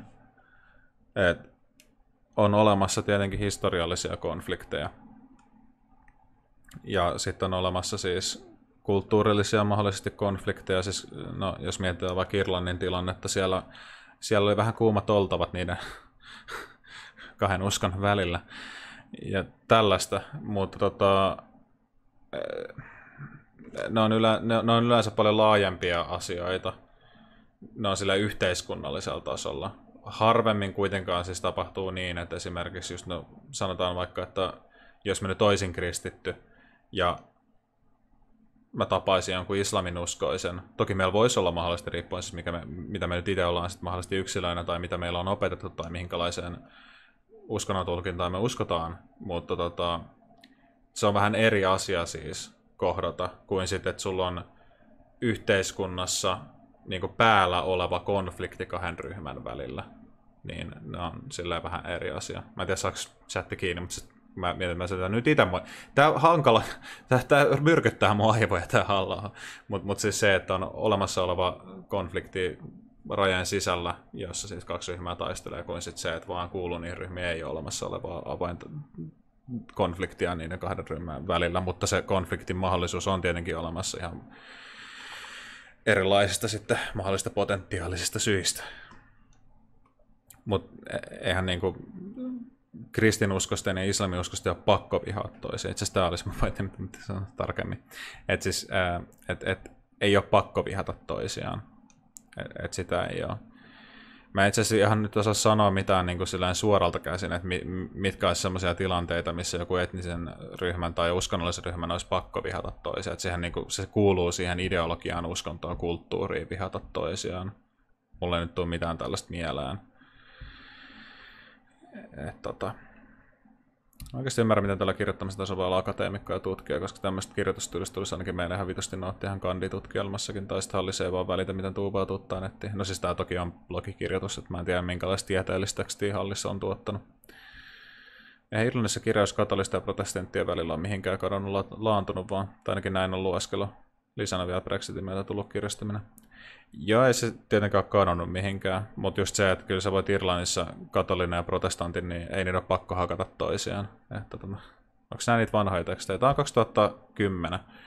Et mä ajattelin, että me otettiin siis tuossa 2005 ja nyt 2010 ja mä ajattelin, että on tämä seuraavaksi joku 2019 teksti. Niin saadaan hyvä tämmöinen niin lineaarisuus tähän. Siellä oli joku 2019 teksti viimeisin. Irlantaista mutta vaan pakko hakata toisia varsin kännissä. Ei nyt loppu toi, toi tota, puhuminen toisten geneettisestä piirteistä. Mutta mistä pohjimmiltaan johtuu valkoihoisen länsimaalaisen ihmisen erityisasema suvaitsevaisessa ajattelussa? Kiiltävän ulkokuorensa alla monikulttuurismi on tavattoman etnosentrinen ja rasistinen oppi. Se näkee valkoihoisen länsimaalaisen ihmisen maailmankaikkeuden ainoana kokonaan vastuullisena ja vapaana toimijana. Minusta tuntuu, että tämä kritiikki nyt meni vähän siihen vaiheeseen, että voisi periaatteessa lukea tuota tämmöisenä niin kuin antirasistisena tota kritiikkinä semmoisesta tota performatiivisesta tota valkoisten suorittamasta antirasismista. Mä sanoin vain valkoihainen länsipallon ihminen on kykenevä mukautumaan, joustamaan ja tekemään kompromisseja, koska vain hän pystyy tähän, vain hänellä on moraalinen velvollisuus siihen. Onko tullut mitään vielä johtopäätöksiä? Ää, no ainakin se, että halla ei tykkää kauheasti somalaista, niin se tuntuu olevan yksi johtopäätös. Tai, tai, että niinku, tai halla esittää kysymyksen, että miksi somalit päättää olla työttömiä ja ha, tota, tehdä rikollisuutta ei, ei ole mitään laillista syytä, miksi heidän pitäisi tehdä näin. Tämä oli halla tuota pohdintaa. Jos Valkan elää oman kulttuurinsa mukaan, hän elää normaalisti, joku muu, joka elää oman kulttuurinsa mukaan performai. Näin varmaan jo. Mutta kuten me käytiin tuosta monikulttuurisuudesta läpi, niin siis se, että monokulttuurisuutta sallii, niin siis sehän vaan tarkoittaa sitä, että sä et käytä väkivaltaa. Et koska sä et voi estää kulttuurien luonnollista kehityssuuntaa muuta kuin estämällä sitä väkivaltaisesti. Et. Ja siis siinäkin tilanteessa, että sä e- laitat niin sanotusti rajat kiinni, niin että silloinkaan ensinnäkin siellä on rajan sisällä valmiiksi tiettyjä kulttuureita hyvin todennäköisesti, mutta myös se, että sit sun pitäisi jotenkin estää sen valtavirran, kult, val, valtavirran kulttuuriin kuuluvien ihmisten viemästä sitä kulttuuria eri suuntaan koska tota, tämä voi tulla shokkina ihmisille, mutta kulttuurit ei ole staattisia asioita. Et esimerkiksi suomalainen kulttuuri ei ole ollut samanlaista viimeistä sata vuotta, että se on, se on pikkasen muuttunut. Mutta se tarkoittaa siis sitä, että periaatteessa pitäisi olla joku semmoinen instituutio, joku, joku tämmöinen suomalaisen kulttuurien vaalijat instituutio tai joku tällainen, joka pää, no itse asiassa tämmöisiä vähän niin kuin olemassakin, mutta siis päättää, että mikä kuuluu suomalaiseen kulttuuriin milläkin hetkellä ja mikä ei kuulu suomalaiseen kulttuuriin milläkin hetkellä. Itse asiassa Ranskassa tätä, mä en kyllä tiedä. Ranskassa on aika paljon kaikkea tämmöisiä henniä asioita kyllä, siis esimerkiksi kieli, kielipoliittisia hommia kielen suhteen myös ihan vähän väkivaltaisemmaltakin kannalta, mutta joo. No oikeastaan populismi ideana on se vaan, että heitellään kamaa seinällä, toivot joku tarttuisi kiinelle, ikinä ollut punaista lankaa kyllä tämä nyt joku punainen lanka, että kyllä mä pystyn sen jotenkin näkemään, mutta siis tämä, tämä, tämä, sanotaan näin, että tämän punaisen langan voisi kyllä kirjoittaa auki, mutta tätä ei osattu kyllä tähän kirjoittaa auki. Et mä pystyn jotenkin näkemään, että mitä halla on suurin piirtein ehkä mahdollisesti tarkoittanut, mutta mun pitää pinnistellä välillä sillä näiden lauseiden kanssa, että mistä taas puhuu. Kaikki, kaikki elävät omassa kulttuurissaan normaalisti. Ei siis sillä, että siis, tota, jos miettii Suomala, Suomenkin sisällä, että jos sä menet Suomesta herran aika esimerkiksi Turkuun, niin se on aikamoinen kokemus. tai sitten tota, jos sä meet tota, mm, Helsingistä, Helsingistä vaikka Rovaniemelle tai Savon, Savon puolelle tai mitä tahansa. Vielä sitä mieltä, että populismi on olemassa. Ää, en mä koskaan ollut sitä mieltä, että populismi on olemassa. Mä, mä ollut sitä mieltä, että populismi on tosi hyödytön tapa yrittää selittää erilaisia puolueita koska populismi on vähän sitä, että hei sä pyrit tota, luomaan näkemyksen eliitistä ja tota, kansasta ja sitten sä pyrit tota, olemaan niin hei suosittu puolue silleen, Joo. Tämä kuulostaa aika monelta puolueelta tai poliittiselta kannalta. Sitten on erilaisia määritelmiä, mutta mm, mä en vaan koista hyödyllisenä hyödyllisenä kategoriana, mutta, se on, mutta nämä on tämmöisiä vähän hankalia asioita, koska vaikka mä en koe sitä hyödyllisenä kategoriana, niin sitä on vähän pakko sitä termiä käyttää, koska sitä käytetään yleisessä keskustelussa termineen ja se pyörii. Ja se, se, on, se on periaatteessa pakko hyväksyä, koska se on jo olemassa oleva asia. Mutta mä ainakin vältän sitä, että mä en sano pelkästään, että joku on populisti, vaan mä silloin pyrin jotenkin avaamaan sitä asiaa auki kuitenkin. Luulen, Jussi haluaa, että jos suomalaisia vaikka somalialaisessa kulttuurissa ristiriita Suomessa pitää käyttää suomalaista versiota. Mä en ymmärrä, mitä se tarkoittaa sillä, että Suomessa pitää käyttää suomalaista versiota. Siis, ää, tai, tai mikä se mahdollinen ristiriita siis on suomalaisessa ja somalialaisessa kulttuurissa? Se, että somalialaiset syö erilaista ruokaa kuin suomalaiset, niin sitten niiden pitää tunkea mieluummin tota roiskiläppiä suuhun. Vai tämä se homma, että kun somalialaisessa kulttuuriseen kuuluu se, että pitää hakata ihmisiä, vai mikä tämä juttu oli? E, et siis onhan tietenkin Suomessakin siis... Mä itse asiassa kyllä tiedän, mitä Suomesta menee. Esimerkiksi kun Jehovan todistajilla on tämä veronluovutuskielto, mutta se tarkoittaa myös sitä, että esimerkiksi tulee onnettomuus, niin, saat, niin se saattaa kieltäytyä siitä, että niihin ei siirretä verta. Mä en ihan varma, että ylitetäänkö tämmöistä päätä, että mä itse asiassa tiedä. Esimerkiksi toisessa maassa ollaan kengät jalassa sisällä, ei, jalassa sisällä, ei Suomessa enää olisi toisten asunnoissa kengät jalassa. Ee, oliko tämä se näkemys, että tämä oli se, mitä haluaa ajata takaa tässä tekstissä? Ähm mä, mutta siis mä, mä yritän, sun esimerkki on nyt vähän semmoinen, että, että mä tietenkään ole eri mieltä siitä. Tarkoittaako sitä, että mä en kannata monikulttuurisuutta? Tai tuntuu tosi latautuneelta sen takia. Koska sä voit olla sitä mieltä, että tota, et käytöstavat otetaan huomioon, tai nimenomaan siis monikulttuuriset asiat otetaan huomioon, jota se olisikin. Että silloinhan sä ottaisit sen monikulttuurisuuden huomioon. Että se just, että joillakin on erilaisia kulttuurillisia käytäntöjä. Sehän tietenkin on sopimuskysymys, että kumma, mutta siis tietenkin sekin, että kumpi sitten on ikään kuin se parempi kulttuuri.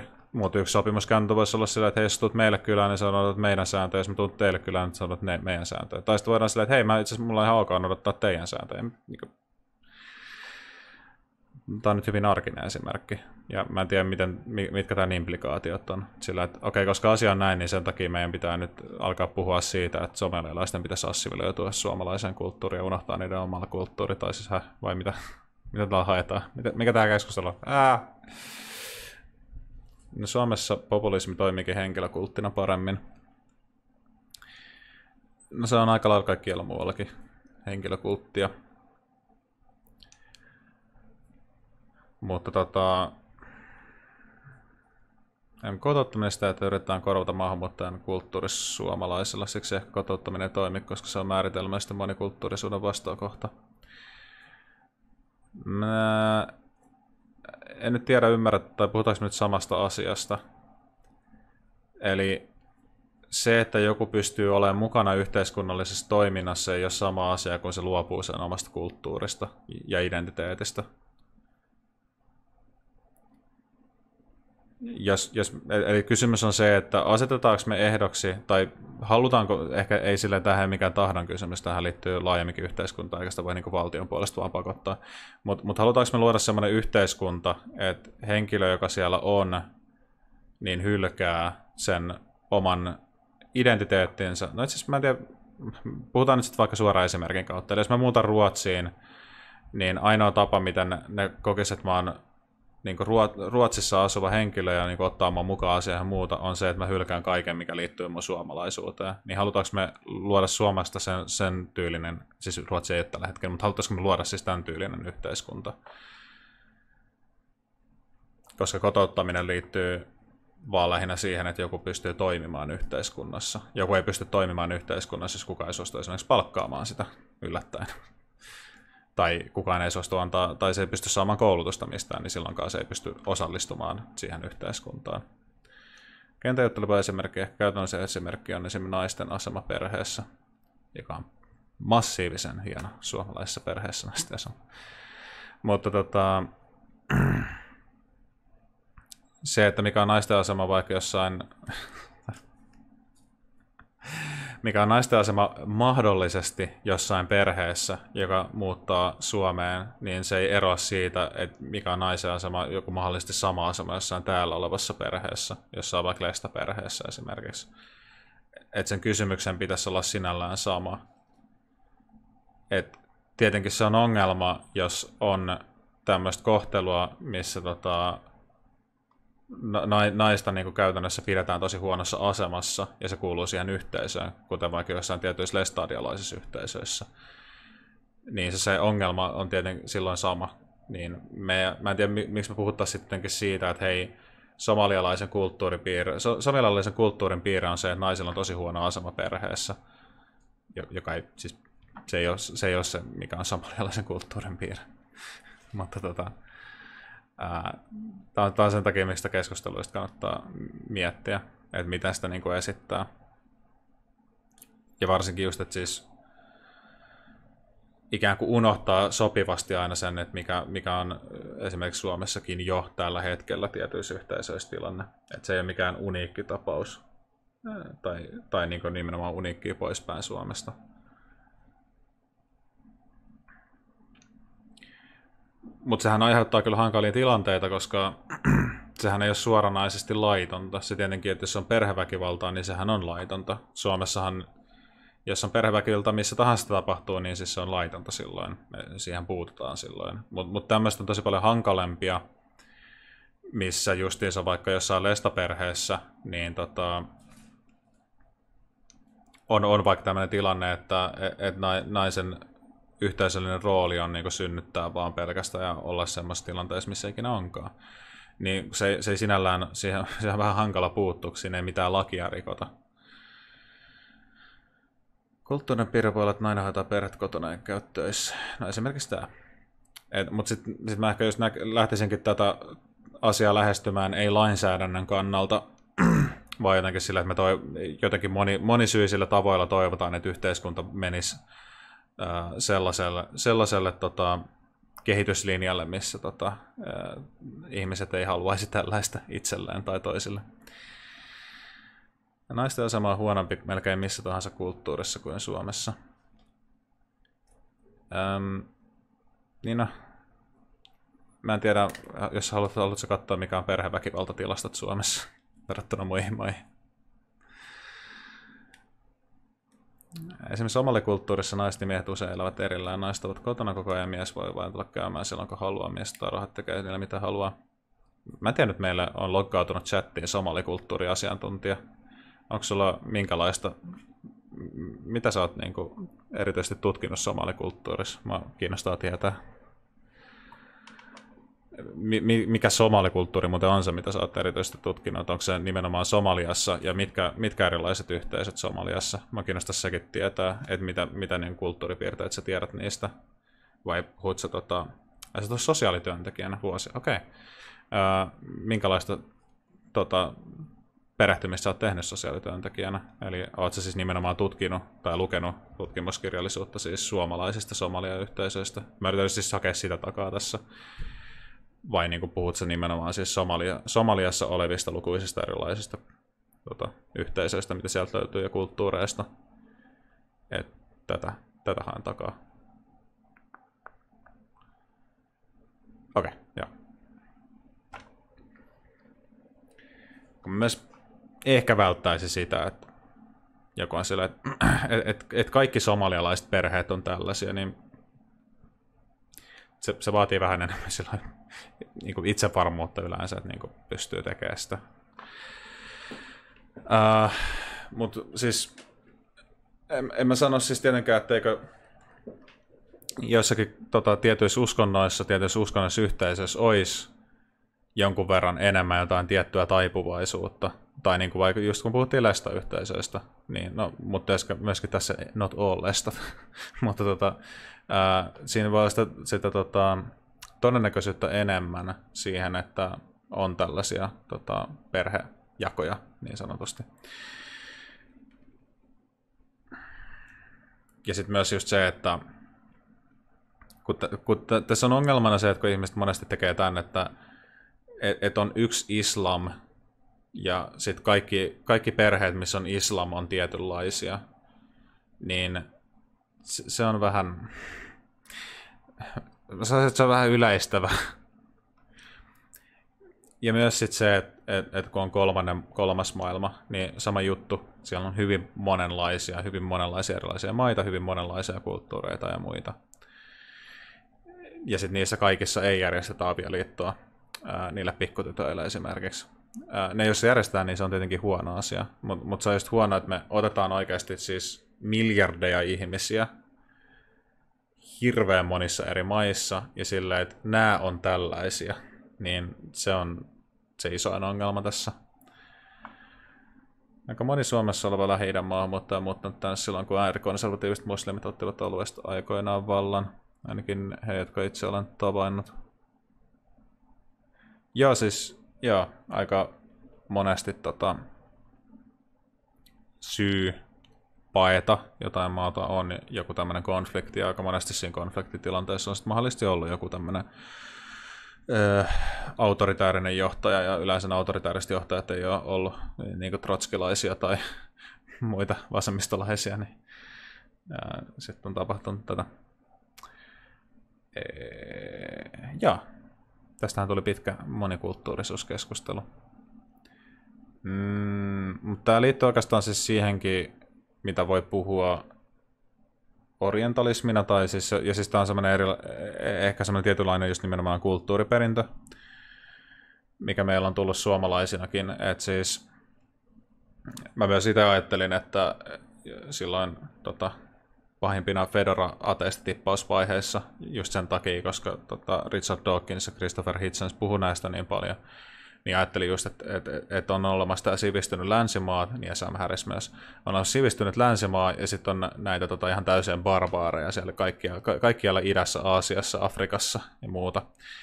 Et, et ne, niissä, niissä kaikissa niin kuin, on tosi patriarkaiset mallit ja kaikkea tämmöisiä sovittuja avioliittoja ja niin edespäin, niin edespäin. Mutta sitten huomenna ehkä, tai myöhemmin ehkä vähän huomasin, että maailma on vähän näköjään monimutkaisempi kuin mä luulin. Iranhan oli 60-luvulla aika liberaali. No, Iranissa oli tietenkin sit se, että se oli, tota, se oli vähän, siellä Shaivallen aikana vähän tota, voi sanoa, että se oli ehkä silleen liberaali, mutta ei, ei välttämättä siis hyvä paikka. Itse en ole huomannut somalikavereiden asuva erillään toistavan päinvastoin, kun suku kulkee vapaasti toistensa asunnoissa. Ja no, tämä on muutenkin vähän semmoinen huono keskustelu käydä sillä, että no ei, mä oon joskus havainnut jotain tämmöisiä asioita sillä jossain mun kaveripiirissä tuolla ja tuolla, että somalit vähän tekee sitä ja tätä, niin se, se ei ihan pysty meille luomaan kuvaa siitä. Sen takia mä just sanoisin siis tästä, että tota, että että nämä oikeasti pitäisi olla jotain semmoisia, että missä olisi oikeasti perehtynyt niihin, koska siis ei ole olemassa mitään siis somali, yhtä somaliyhteisöä. Suomessa ei ole olemassa yhtä somaliyhteisöä, eikä, eikä Somaliassa ole olemassa yhtä somaliyhteisöä. Et, et sielläkin on erilaisia kulttuurieroja, erilaisia yhteisöjä niin niiden niputtaminen yhteen. Se on vähän sama kuin me puhuttaisiin y- suomalaisista pelkästään. Et, kyllähän, kuten, kuten me käytiin läpi tässä aikaisemminkin, niin onhan helsinkiläiset aika erilaisia kuin just vaikka Lapissa olevat ihmiset. Itse olen käsittänyt, että perussuomalaiset yksi iso ongelma maahanmuuton kanssa on se, että heidän mielestään maahanmuuttajat on maksettu tarpeeksi suomalaisia tapoja. Jos tavat ja kulttuurit vetävät käsikykkäin, silloin sopeutuminen on aina monikulttuurisuus vastaista. Sitten tulee myös se kokeko maahanmuuttaja itsensä loppukädessä suomalaisena, jos hän elää omassa kulttuurissaan, omassa syrjäytyneessä yhteisössä, tulee iso ongelma, jos syrjäytyminen alkaa ja lopputus. Joo, ihan, ihan tutun kuuloista touhua. Ja tämähän tuntuu olevan, että, että ikään kuin tämä hirveän paha monikulttuurisuus loppupeleissä vaan tarkoittaa sitä, että ensinnäkään ei väkipalloin pakoteta suomalaista kulttuuria, ja sitten se, että ei laiteta rajoja täysin kiinni, ja sitten se, että hyväksytään tota, erilaiset arvot, niin kuin tarkoitan, ja tervetuloa Parskaiden kokemaan korkeat energiat, erilaisilla arvoin tarkoitan siis sitä, että kun ei ole mitään objektiivista tapaa vaikka nauttia ruokaa tai objektiivisia käytöstapoja ei ole olemassa. Et tota, jos jossakin kulttuureissa vaikka se kättelykäsi onkin vasen tai oikea, ja, tai toisessa on oikea ja toisessa vasen, niin ei, se ole, ei ole olemassa objektiivista käytöstapaa, mitä sä kättelet toista ihmistä. Josko sitten, että samalla lailla kuin suomalaiset, että osa pitää yhteyttä ja osa ei. Ää, yhteyttä mihin? Äh, mä ei toihin. Just olen kirjoittamassa yksi aina suomalaisyhteisö, totta kai. Ja se mitä keskuksella on selkeä somaliyhteisö. Öö, en tiedä, mitä tarkoittaa selkeällä, tai onko siellä sen takia, koska sanat niin, mutta siis siellä voi olla, mutta siis taas kerran. Se, se, mitä fiiliksiä tai muuta meillä on jostain asiasta, niin ei välttämättä tarkoita. Mutta siis eh, ehkä siellä on, en tiedä. Öö, joo, me varmaan käytin tämä teksti jotenkin läpi tässä. Öö, Käydään nyt sitten joku 2019 blogiteksti. Mä en tiedä, onko se eduskuntavaalit 2019 oikein. No niin. Ampumaan se direktiivi uudistamisesta. Mä yritän nyt, jos, jos löytyisi joku sellainen kirjoitus, joka jotakin vastaisi ehkä niin näitä juttuja. Tämä puhuu siitä, mitä kannatusta perussuomalaisilla oli. Hmm. Muutama sana Pariisista. Liittyykö tää Jali Ebdo? Joo. Mikä nyt on taas vastaava blogikirjoitus?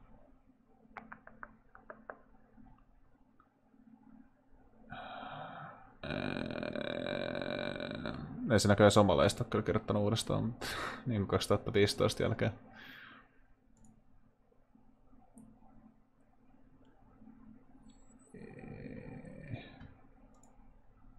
Minkä kirjoituksen? Melkein ehkä ta- taipuisin tuohon Pariisin hommaan. Kyllä jotenkin muista, jos on siinä, siinä haluaa kertoa sen näkemyksiä taas muslimeista. Katsotaan tämä Pariisin juttu. Kolme profeetta Muhammedin pilkkaamista loukkaantunutta islami, islamistia hyökkäsi 7.1. ranskalaisen lehden toimitukseen ja surmasi rynnäkkökivääreillä 12 ihmistä. Näiden joukossa kaksi poliisia, lehden päätoimittajia sekä useita piilopiirtäjiä. Varmaan ehkä muistaa jollakin tavalla siellä chatin puolella Charlie Hebdon tapauksen, koska sitten ei nyt ihan hirveän pitkä aikaa. Kuten aina, kuten aina islamistien ampuessa, räjäyttäessä tai mestatessa viattomia, mielenkiintoisia on nytkin seurata median poliitikkojen tavallisten kansalaisten reaktioita. Niin no, aika moni varmasti muistaa hashtagin Jesus Charlie, että tota, eihän, se, se oli tosiaan niin silmien sulkemista. Tai itse asiassa Halla on toista että ihan samaa kaavaa, mitä muutkin oikeasti tekee. Ne vaan väittää tosiaan niin, mitä se ei ole. Et, no, tämä nyt on Trumpin aikaan tullut tosi paljon tutummaksi, mutta tätä ei tehty pidempään. Trumphan vaan sanoo, että joku ei vaan pidä paikkaansa, vaikka se pitää paikkaansa. Niin samalla tavalla Halla hakee vaan, että, niin kuin, että joo, on vaan suljettu silmät, vaikka siihen tuli tosi paljon reaktioita. Tai mä en tiedä, mitä mieltä chatti on, että reagoitiko Charlie Hebdon tapaukseen mitenkään. Että oliko se vaan äärioikeisto, joka naiset tuli ehkä mahdollisesti joku linkki, en tiedä. Ää, tai sitten sä laitat sille hassusti symboleita peräkkäin ilman välilyöntejä. Niin tota, ei tule mitenkään Charlie Hebdon tapausta mieleen. Se voi olla, että ei, ei, ei, ei sitä, ehkä se voi olla, että niinku ne vaan, jotka luki skriptaa, kuuli siitä, että Charlie Hebdon tapaus tapahtui. Mutta jos oli sellainen pari vuotta sitten, kun Itä-Koskan vieressä oleva La parkkipaikalla tapahtui peltikorilla kahden somalitaistisen välillä asia meni riidaksi pian paikalla 50 plus maahanmuuttaja säilyttämässä aseita. Jos siellä ei y- yhteisö, niin en tiedä mikä on. Öö, niin no, mitä siis, mutta jossakin, siis oliko paikalla 50 maahanmuuttajaa vai katsoit sillä, että nämä on ei-valkoisia 50 tyyppiä. Ja, koska ne oli ei-valkoisia 50 tyyppiä, ne oli kaikki somaleita, vai, tai siis niin kuin, mutta joo, siis ja siis sekin, että jos, jos ne osallistuu johonkin joukkotappeluun, niin se tarkoittaa, että se olisi niin kuin joku tiivis yhteisö mahdollisesti. Mutta en mä tiedä. Siis kuten sanottu, se voi olla tai ei ole. Mutta mä hain enemmän takaa sitä, että me ei kannata tehdä näitä päätelmiä silleen fiilispohjalta, että mikä se totuus jostain asiasta on. Et mun fiilis on, että kun mä näin, tota, mä näin jatkuvasti jotain somaleet tuolla, niin tuolla on joku somaliyhteisö, joka on kaikki tiiviisti yhdessä tai jotain muuta tällaista. Sitä, sitä mä hain niin kuin, takaa. Uh, niin. Mutta tota, kaikki tapaukset ovat yksittäistapauksia, jotka eivät liity toisiinsa. No, tai yksittäistapaus meemi, on yhä hauska. Yhä hauska. Ja mä en tosiaan myöskään tarkoita sillä, että, että, että, miten tiedetäänkö me oikeasti mitään. Mutta siinä on vaan vähän se, mä en tiedä, miten tämä nyt sanalaistaisi, mutta meillä on jotenkin tietynlainen tapa jollakin keinolla katsoa jotain tiettyjä yhteisöjä jotenkin tosi eristävästi. Siis silleen, että jos 50 suomalaista, jotka näyttää valkoisilta, menee tappelemaan johonkin, me ollaan että ai, tuossa on toi suomalaisten yhteisö, joka on nyt tappelemassa tuolla jossain. Tai jos niillä olisi, tota, ne olisi kaikki kaljoja ja niillä olisi tota, hakaristit messissä, niin mä oltaisiin, että se on ne natsit hakka, hakkaamassa tyyppejä. Mutta tämä on se, niin kuin, mitä mä haen. Mä en tiedä, saako chatti kiinni, mitä mä haen takaa. Mutta tota, tämä on se myös. Niin. Mutta niin, mennään tähän kirjoitukseen, että ehditään käydä läpi tämä myös. Tämä siitä huolimatta, että tekijät itse julistavat Allahu Akbar huudollaan tekojen yhteiseksi nimittäjäksi jihadin. Jihad on muuten hauska sana, koska siis se ei tosiaan tarkoita, mitä, mitä nämä tyypit aina luulee, että se tarkoittaa. Mutta tota, ähm, jihad voi olla myös äh, ei millään tavalla sotaan liittyvä asia. Sama, itse, sama menee fatva ja muutkin kaikki tällaiset, mutta siis tai just, että käytetään näitä mörkösanoja, sille uu, Allahu Akbar, uu, jihad, uu, pelottavia sanoja. Tota, se, se, se, on sinällään vähän sama asia, että jos ää, me puhuttaisiin kristinuskon jostain tietyistä asioista sillä käytettäisiin jotain termejä jollekin, joka, joka ei yhtään niin meidän kieli ei ole tuttu ja kuulostaa tosi vieraalta, niin se, sekin voisi pukea sen tosi pelottaviksi asioiksi oikeastaan periaatteessa joku lähetyskäsky nyt on aika semmoinen, ollut aika huono asia tässä niin kuin, ja historiallisesti aika pitkä aikaa ja nykyaikanakin, että sillä on tehty kaikenlaisia tosi ikäviä kolonialistisia ja muita asioita. Mutta joo. Etenkään tekojen ei myönnetä liittyvän millään tavalla islamiin, vaan pikemminkin syrjäytymiseen, rasismiin tai tekijöiden mielenterveysongelmiin. Kuitenkaan tekijät eivät itse julista olevansa kostamassa rasismia tai syrjäytymistä, he julistavat puolestavansa profeetta Muhammedin kunniaa. Ai niin, toki, tokihan mä tietenkin puolustan, koska mä en suostu tota, vaan suhtautumaan tosi yleistävästi kaikkiin tota, islamiuskoisiin, niin se tarkoittaa, että mä puolustan tietenkin näitä Charlie Hebdon tota, ampuja, muistakaa tämä. On tietenkin selvää, että henkilö, joka ampuu, räjähtää tai mestaa syyttämiä ihmisiä, ei vaikuta tasapainoiselta. Tämä on kyllä ihan tota, silleen miettii sotaa, niin mm, kyllä meillä on aika paljon esimerkkejä sillä, että tasapainoisesti ihmiset voi ampua toisia. Kaikkien islamin nimessä suoritettujen väkivallan tekojen selittäminen tekijän yksilöllisillä mielenterveysongelmilla on kuitenkin vähän sama asia kuin jos esimerkiksi natsisaksa ja holokaust selitettäisiin jokaisen saksalaisen yksilöllisellä mielenterveysongelmalla. Tästä mä oon samaa mieltä. Sen takia esimerkiksi Hannah Arendt selitti sen enemmänkin sillä, että se, alkoi, se mieluummin puhui, puhui banaalista pahuudesta kuin mistään semmoisesta suur, niin kuin, että olisi joku semmoinen koomisesti paha superpahis yksilö, joka on silleen natsi, ja sitten se on just sen takia natsi, koska se on semmoinen superpahis. Et, et Hanna Haarendt mieluummin just päätyi selittämään, selittämään tilannetta enemmänkin niin, että pahuus on tylsää. Siis se on vaan semmoista byrokraattista pahuutta. Et ihan samalla tavalla se ja katsoo niitä juna-aikatauluja, katsoo, katsoo myös joku VRnkin tyyppi, katsoo juna-aikatauluja, että juna, et, et, miten ne junat, siis katsoo juna-aikatauluja, mitä vittu, siis katsoo, että miten ne junat kulkee, niin siis ihan samalla tavalla joku VRn tyyppi katsoo niitä kuin se Natsi-Saksassa, että ei siinä ollut mitään eroa niillä toiminnoilla. Et tota, ei, ei, ollut mitään semmoista, jes, nyt, nyt me tapetaan juutalaisia tyylistä fiilistä, vaan silleen, että okei, nyt tuo juna pitää kulkea tänne, laitetaan se kulkea sinne. Olemme kai kaikki samaa mieltä siitä, että ei ole kovin normaalia tai tervettä kaasuttaa syyttömiä miehiä, naisia ja lapsia tuhoamisleirillä.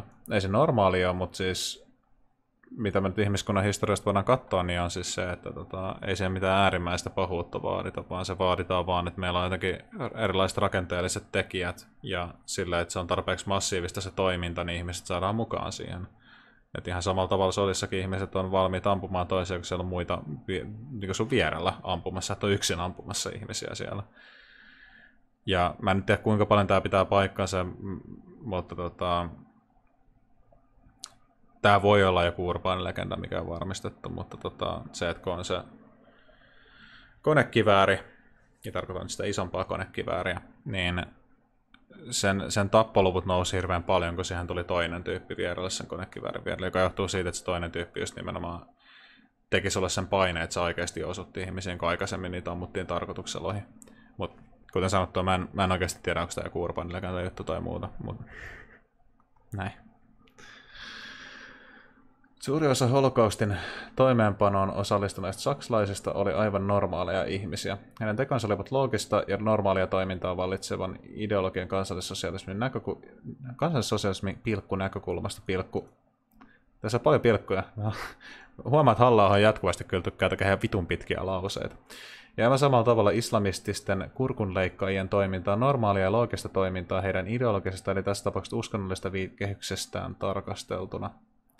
Ja mä olen samaa mieltä tästä. Mielenkiintoista on myös verrata reaktioita siihen keskusteluun, joka vuonna 2011 käytiin Norjan joukkomurhan jälkitunnelmissa. Ai niin, joku Breivikhän tosiaan siteerasi skriptaa. Mä en tiedä mainitseeko tässä siitä. Tuolla ruumiilla ratsastaminen, poliittisen hyödyn lypsäminen ja Breivikin käyttäminen koko viiteryhmässä islamin vastustajat kansalliset maahanmuuttokriittiset leimaamisen olivat suorastaan valtavirtaa. Tämä on se, että kun poliittisia asioita politisoidaan sillä, että uusnatsi hakkaa jonkun, niin onko se poliittista sanoa, että hei, uusnatsit hakkaa ihmisiä? niin kuin, tai siis, jos uusnatsi hakkaa ihmisiä, niin sillä onko poliittista sanoa, että hei, meillä on ongelma mahdollisesti tämän äärioikeistolaisen väkivallan kanssa. Tämä on periaatteessa mitä Hallaus on tässä sanoa et, et kun ihmiset sanoo mediassa, että hei, että on tosi huolestuttavaa, että tämmöinen tota, ääriöikeistolainen ter- terroristinen teko on tapahtunut, että onko meillä jotain, niin kuin mikä tapahtuu ääriöikeiston tilanteessa tällä hetkellä, joka lietsoo näitä tekoja. Ja sitten sille, taas politisoidaan näitä juttuja. Silleen, aha, okei. Okay. Onneksi oikeisto ei koskaan ollut politisoimassa näitä asioita. Ää, ää, hyvä kooste lehtikirjoitusta. Siis tuli mieleen, että mä oon lukenut Breivikin manifesti ja se on, se on hyvin tylsää luettavaa. En, en suosittele kenellekään. En lukenut sitä ihan kokonaan, mutta se, se, oli, se vaan jotenkin tota, oli sillä, että se oli, se oli semmoinen vuorotus, vuorotusmanifesti, jossa oli vaan sillä, että yhyy maahanmuuttajat, tätä bla bla bla, ja sitten se puhui myös siitä, että minä, minä itse asiassa olen tota, elänyt kyllä maahanmuuttajatyyppien kanssa, ja tota, he ovat jotkut ihan hyviä tyyppejä, mutta sitten kun bla bla islamistit, bla bla bla bla bla bla bla bla bla bla bla bla Kiveäkään ei pidä jättää kääntämättä, kommentoi Helsingin Sanomat vedellessään viivoja Breivikistä perussuomalaisia allekirjoittaneeseen. Ai kato, Tämä siitä huolimatta, Breivik todistettavasti toimii alusta loppuun yksin, ettei Santti ole ymmärrystä oikein miltään taholta. Silleen, että joo, sä oot halla tosiaan sä oot halla se mukana ampumassa. Se on ihan totta, checkmate lipsit. Vittu. Mutta se on kyllä mua käynä harmittaa, kun joku menee tekemään ääriökäistolaisen terroristitekoja menee synagogaan ampumaan, niin se harmittaa, kun ne siteeraa mun tota, YouTube-kanavaa. Se on aina ongelma mulle näissä tilanteissa. Joskus nettikeskusteli jonkun heteromies kanssa, jonka mielestä oli ikävää, kun sateenkaarilippu oli politisoitu. Ikävää, että poliittisesti symbolit politisoitu. Ja Tämä on, tämä on tämä jännä, jännä tendenssi poliittisilla asioilla, että ne on poliittisia. Mä aina mielenkiintoista. Se on mielenkiintoista, kun jotkut oikeistolaiset toteavat, että hei tosiaan tämä poliittinen asia on poliittinen. Sitten mm, hyvä huomio. Ja sitten toteaa, että hei, voisiko, voisiko tämä poliittinen asia olla olemat poliittinen. Sitten mm, no vähän hankalaa, mutta ää, ää, niin. Demari ja vasemmistonuoret vaativat tuolloin välittömästi toimenpiteitä suomalaisissa netissä leviäviä vihapuheita vastaan. Keskustanuorten puheenjohtaja vaati perussuomalaisten johdolta irtisanoutumisia. Paavo Arhamäki vaati maahanmuuttovastaisuudella ratsastaneilta kansanedustajilta irtisanoutumisia. Me voidaan kyllä käy todeta, että Halla ei vieläkään oppinut kirjoittaa niin hyvin, vaikka tämä on 2000, mikä tämä on, 2015 to, to, se, se, sen kirjoitustyyli on kymmenessä vuodessa kehittynyt mihinkään suuntaan. Mutta okei, voi olla, että se kirjoittaa blogeja sillä, että se kirjoittaa aina kerralla puhtaaksi, eikä se yhtään mieti mitään, ja se vaan kirjoittaa niitä menemään. Ja en ole lukenut sen tieteellisiä artikkelijulkaisuja, niin ehkä en tiedä. Näin pitkä linja ateistina on jotenkin tullut semmoisen ajatelma, että uskonnot itsessään ei suuremmiten ruokin väkivaltaa pahuutta, mutta on lisähierarkia, jossa voi saada itselleen aivottomia apustajia, eli ongelma ja uskontovaa uskonnollista johtajat. Aika lailla näin.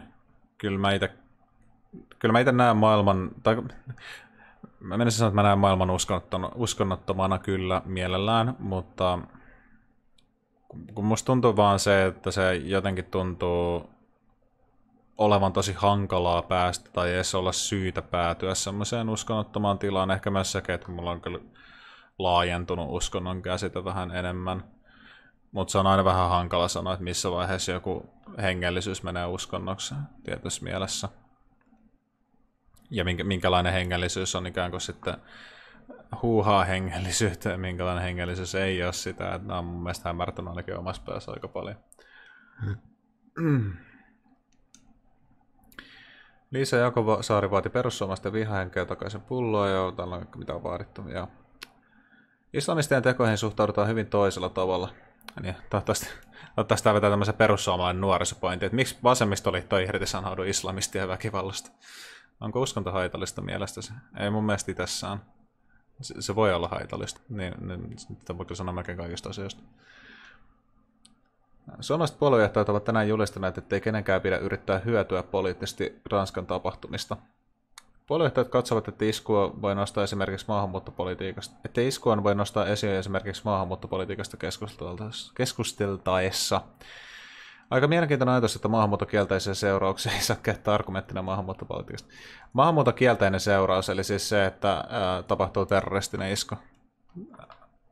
2015 halla hyvin erilainen ajattelija. Tämä on aika tämmöinen tyypillinen. Siis se, se, että nimenomaan terrorismi on sisäsyntyinen jonkunnäköinen asia, mikä vaan tulisi maahanmuuton seurauksena. Se, miten tämä nyt meidän historia meneekään tässä maailmassa. Et olisiko, ja sitten sekin, että mä en itse asiassa tiedä, mulla ei itse asiassa tietoa, että nämä, jotka on tuota, käynyt ampumassa siellä lehden toimituksessa, että oliko se siis tosiaan tullut Ranskaa vai oliko se syntynyt Ranskassa. Mutta tietenkin halla mielestä niin ihan sama kuinka monen sukupolven tota, ajan sä oot jossain maassa, että jos sä, sä et ole arjalainen ja sä oot väärän värinen, niin sä oot niin kuin, maahanmuuttaja. Mutta tota, ei ole tietoa siitä, mutta siis vaikka ne olisikin just siinä päivänä tullut siihen maahan, niin mä en, mä, mä en tiedä millä, millä koukulla sen näkee maahanmuuton kielteisen seurauksena muulla tavalla kuin se, että sä uskot tai pyrit sanomaan jotenkin, että terrorismi on nimenomaan tietyn ihmisryhmän asia. Ja se tietty ihmisryhmä on ne ei-valkoiset, ne vääränväriset, ää, jotka uskoo islamiin. Ylipäätään onko tekijät muuttaneet Ranskaa vai ihan vain menneet Ranskaan tehdäkseen isku? Jaa.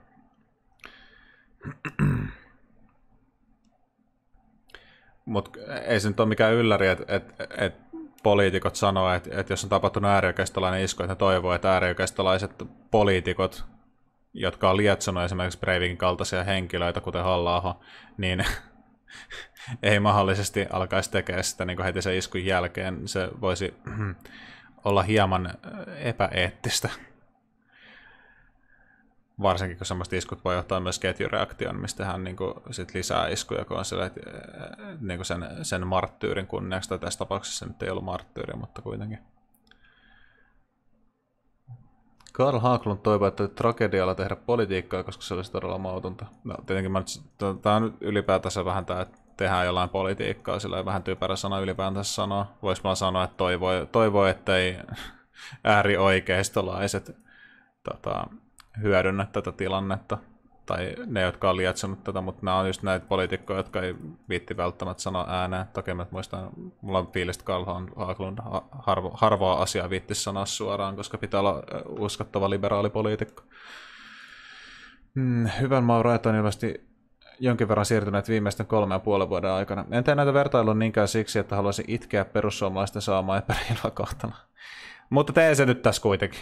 Pidän oikeasti kiinnostavana sitä, millainen erityisrooli islamilla ja muslimeilla on suvaitsevaisen länsimaalaisen tajunnassa. Tässä voit vaan sitä perustella, että julista vaan joku asia, mikä ei pidä paikkaa. Sille, okei. Okay. Koska siis, joo, mä, mä en suhtaudu sillä, että koska mun mielestä kaikki arabit ei ole rättipäisiä terroristeja, niin se tarkoittaa, että mulla on erityisrooli, niin kuin, ja se on mun suvaitsevainen länsimaalainen tajunta, joka kokee näin nämä asiat et, et koska Allah ei puhu islamioskosta missään muussa yhteydessä kuin sillä, ne on terroristeja tai jotain muuta vastaavaa, niin ja tämä on kai sitä niin kuin, objektiivista totuuspuhumista. Ja suvaitsevaisen identiteetin rakentamisessa ja millaisilla mutkilla hän on halukas vääntymään, voidakseen selittää pois. Ei, ei siinä ole mitään mutkia. Uh, moi. Tuolla, tuolla on tota, sellaisia tota, äärielementtejä islamiuskossa, jotka tekee terroristiiskuja vauta oli tosi vaikea selittää pois. Mahtavaa.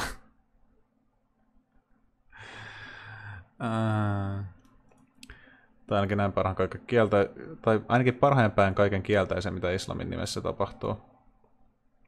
Tämä, on jännä juttu, mutta siis tosiaan, että jos, jos on joku, joku tyyppi, joka kannattaa demokratiaa, se menee sen jälkeen leikkaa kahdelta tyypiltä päät irti vaikkapa, niin mä sen jälkeen sanoisin, että onpas tämä demokratia tosi ikävä asia, kun se, siihen näköjään kuuluu päiden leikkaaminen pois.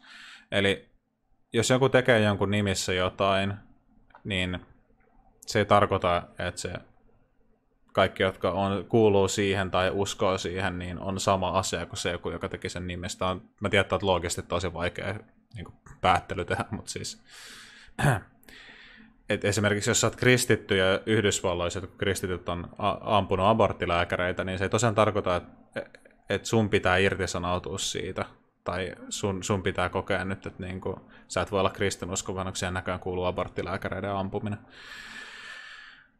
Ja varsinkin kun islami on niin massiivinen uskonto. Se ei ole mikään pieni ja islamiin, kuten kristinuskonkin, liittyy tosi paljon. Siis, puhunut tästä aikaisemminkin, mutta siis kristinuskossa meillä on ortodoksisuutta, luterilaisuutta, Jehovan todistajille, stadialaisia, bla bla bla bla bla bla bla, niin sitten islami usko vaan että okei, on se islami usko. Sitä, mm,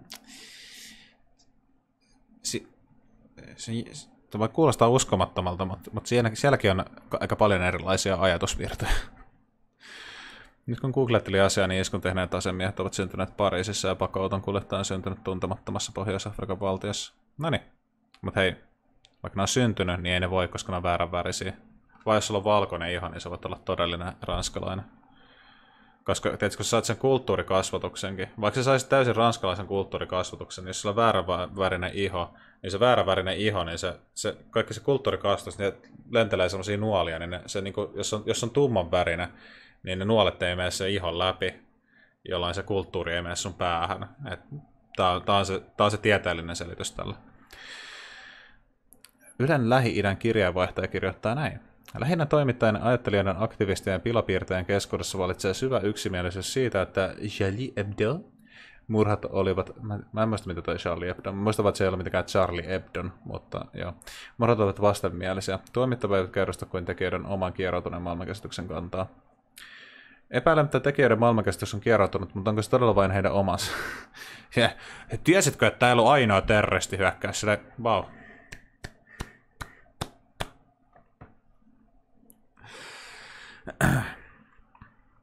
Tämäkin voisi olla silleen, että hei, Krist, kristinuskon ainoa pointti on vaan tota mestata ihmisiä, telottaa ihmisiä ja polttaa niitä ristillä. Ja sitten joku se, et sä voi näin sanoa. Ja se, no hei, niin kuin onhan tämä tapaus. Ja sitten silleen, joo, mutta hei, toi oli tosi, tosi tota, geopoliittinen tilanne, mistä tapahtui näitä asioita. Mä oon silleen, ei ollut ainoa tapaus. Koko koko historiasta mä löydän ainakin tämän tapauksen, sitten tää ja tää ja tää ja tää ja tää ja tää, niin checkmate liberaali.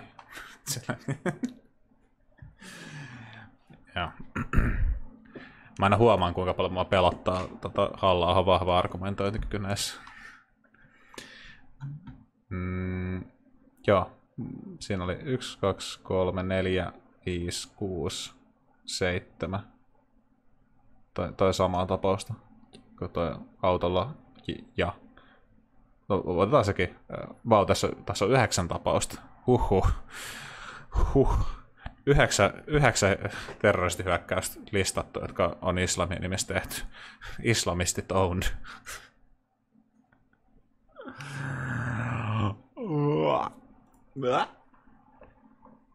Mä voin sanoa, että jos, jos islamiusko on vahvasti kuuluisi terroristihyökkäyksistä, jokainen islamisti, islamisti miettisi niitä, niin, niin se olisi semmoinen päälle, päälle tota, miljardi ihmistä, niin mä voisin sanoa, että niitä olisi aika paljon niitä hyökkäyksiä silloin.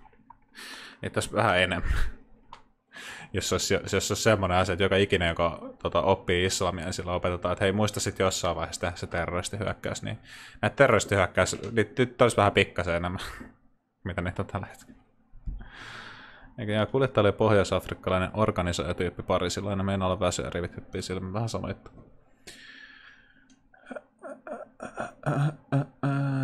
Pariisin ampujat rankaisevat pilallisen toimittajia kuolemalla pyhien arvojen pilkkaamista. Millä tavalla heidän maailmankäsityksensä on kieroutuneempi kuin edellä mainittujen muslimimaiden kansalaisten enemmistöllä?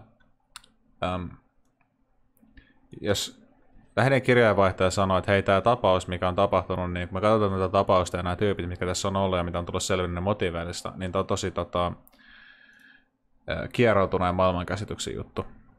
Ja sitten 900 älykkyysessä määrä halla tulee tota, servaamaan ja sanoo silleen, että tota, niin, että ää, miten tämä on mukaan kieroutuneempi kuin nämä, ja nämä ja nämä tapaukset.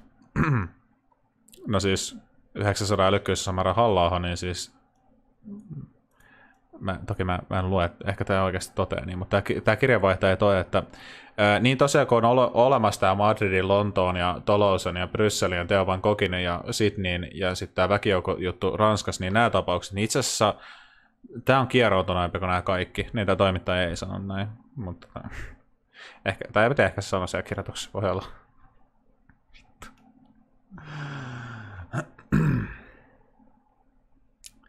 Tätä tarkoitan sanomalla, että omassa kulttuurisessa ja uskonnollisessa viitekehyksessä on tarkasteltuna Pariisin islamistien teko ei ole häiriintynyt, vaan looginen. Eee... Joo. En, mä en siis tiedä, onko se häiriintynyt vai looginen. En ole tutustunut itse niihin taustoihin, mutta mä en usko, että se on ää, looginen. E, e, joo, kyllä. Intialainen puoluejohtaja ja osavaltiopolitiikka Jakub Qureshi lupaa Pariisin ampujille rahapalkkiota. Ne, jotka julkeavat loukata profeetta Muhammedia, ansaitsevat kuoleman ilman oikeudenkäyntiä. Kureshi lisää, että profeetta levitti rauhan ja rakkauden sanomaa. Ää, ai niin, tämä Jakob Kureshi, joka tota, puhuu, on tämä tää islam-tyyppi, joka tota, kun on, kun on islamiusko ja sitten on tämä Kuresh, ää, mä en tiedä kuka se on, mutta se on, se on siellä, joka puhuu kaikkien puolesta. Se on yksi islam-tyyppi. Tämä, siis on niin taas halla sivistyksen taso. Että tota, näin, näin, näin paljon kuin halla puhuu islamista, niin se ei ole varmaan ikinä koskaan lukenut mitään islamista näköjään. Et esimerkiksi jos Paavi sanoo meille, jos Paavi sanoo tuolla jotain, niin ää, leikitään, että mä oon vaikka evolutti, niin ei mua kiinnosta vittuakaan, eikä mun tarvitse kiinnostaa vittuakaan, ei sillä ole mitään tekemistä sen kanssa, että mitä mä tota, luen raamattua seuraamaan tämän koeasiat, koska ää, Paavi, Paavi ei vaikuta mun juttuihin.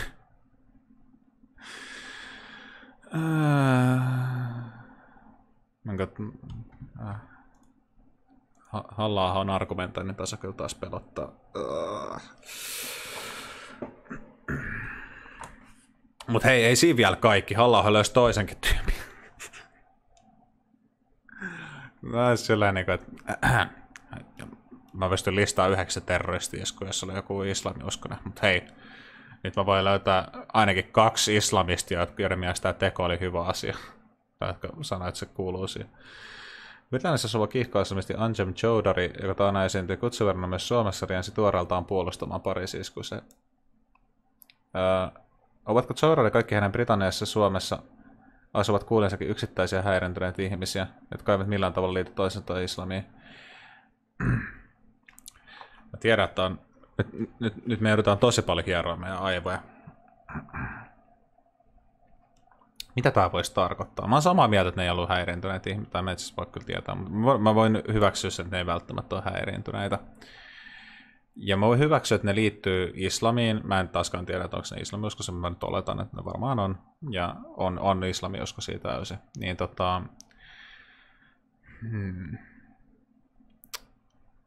Mutta sitten mä jotenkin eri mieltä silti Hallahankaan. Miten se on olla mahdollista, mä silti eri mieltä Hallahankaan? Voisiko se... Ja, ja villiveikkaus. Voisiko se tosiaan tarkoittaa sitä, että, että vaikka tämä kaksi tyyppiä on kannattanut niitä tekoja, vaikka ne tietty lössi ihmisiä teki sen teon, niin automaattisesti kaikki islamin uskoiset ei ole samaa mieltä sen kanssa, eikä hyväksy sitä tekoa. Tämä on... En tiedä, voiko olla mahdollista, mutta Ehkä se on mahdollista. Ehkä meidän pitää uskoa Mutta hei Juho, Oletko lukenut nämä kaksi MV-lehden artikkelia siitä, että miten tota, jotkut islamiuskoiset myös näiden lisäksi on sanottu, että en tosiaan ole lukenut, mutta tota, pikkasen fiilis, se ei välttämättä muuta tätä kantaa mihinkään suuntaan. Mutta hei Juho, tässä on tota, yksi toinen tapaus tuolta tota, Ruotsissa, miksi yksi tyyppi puukotti pari tyyppiä. Joo, jännä juttu. Tota, mutta hei Juha, tässä, on, tässä on yksi tapaus tota, 12 vuotta sitten tuolla Berliinissä. Tota, niin, okei. Okay.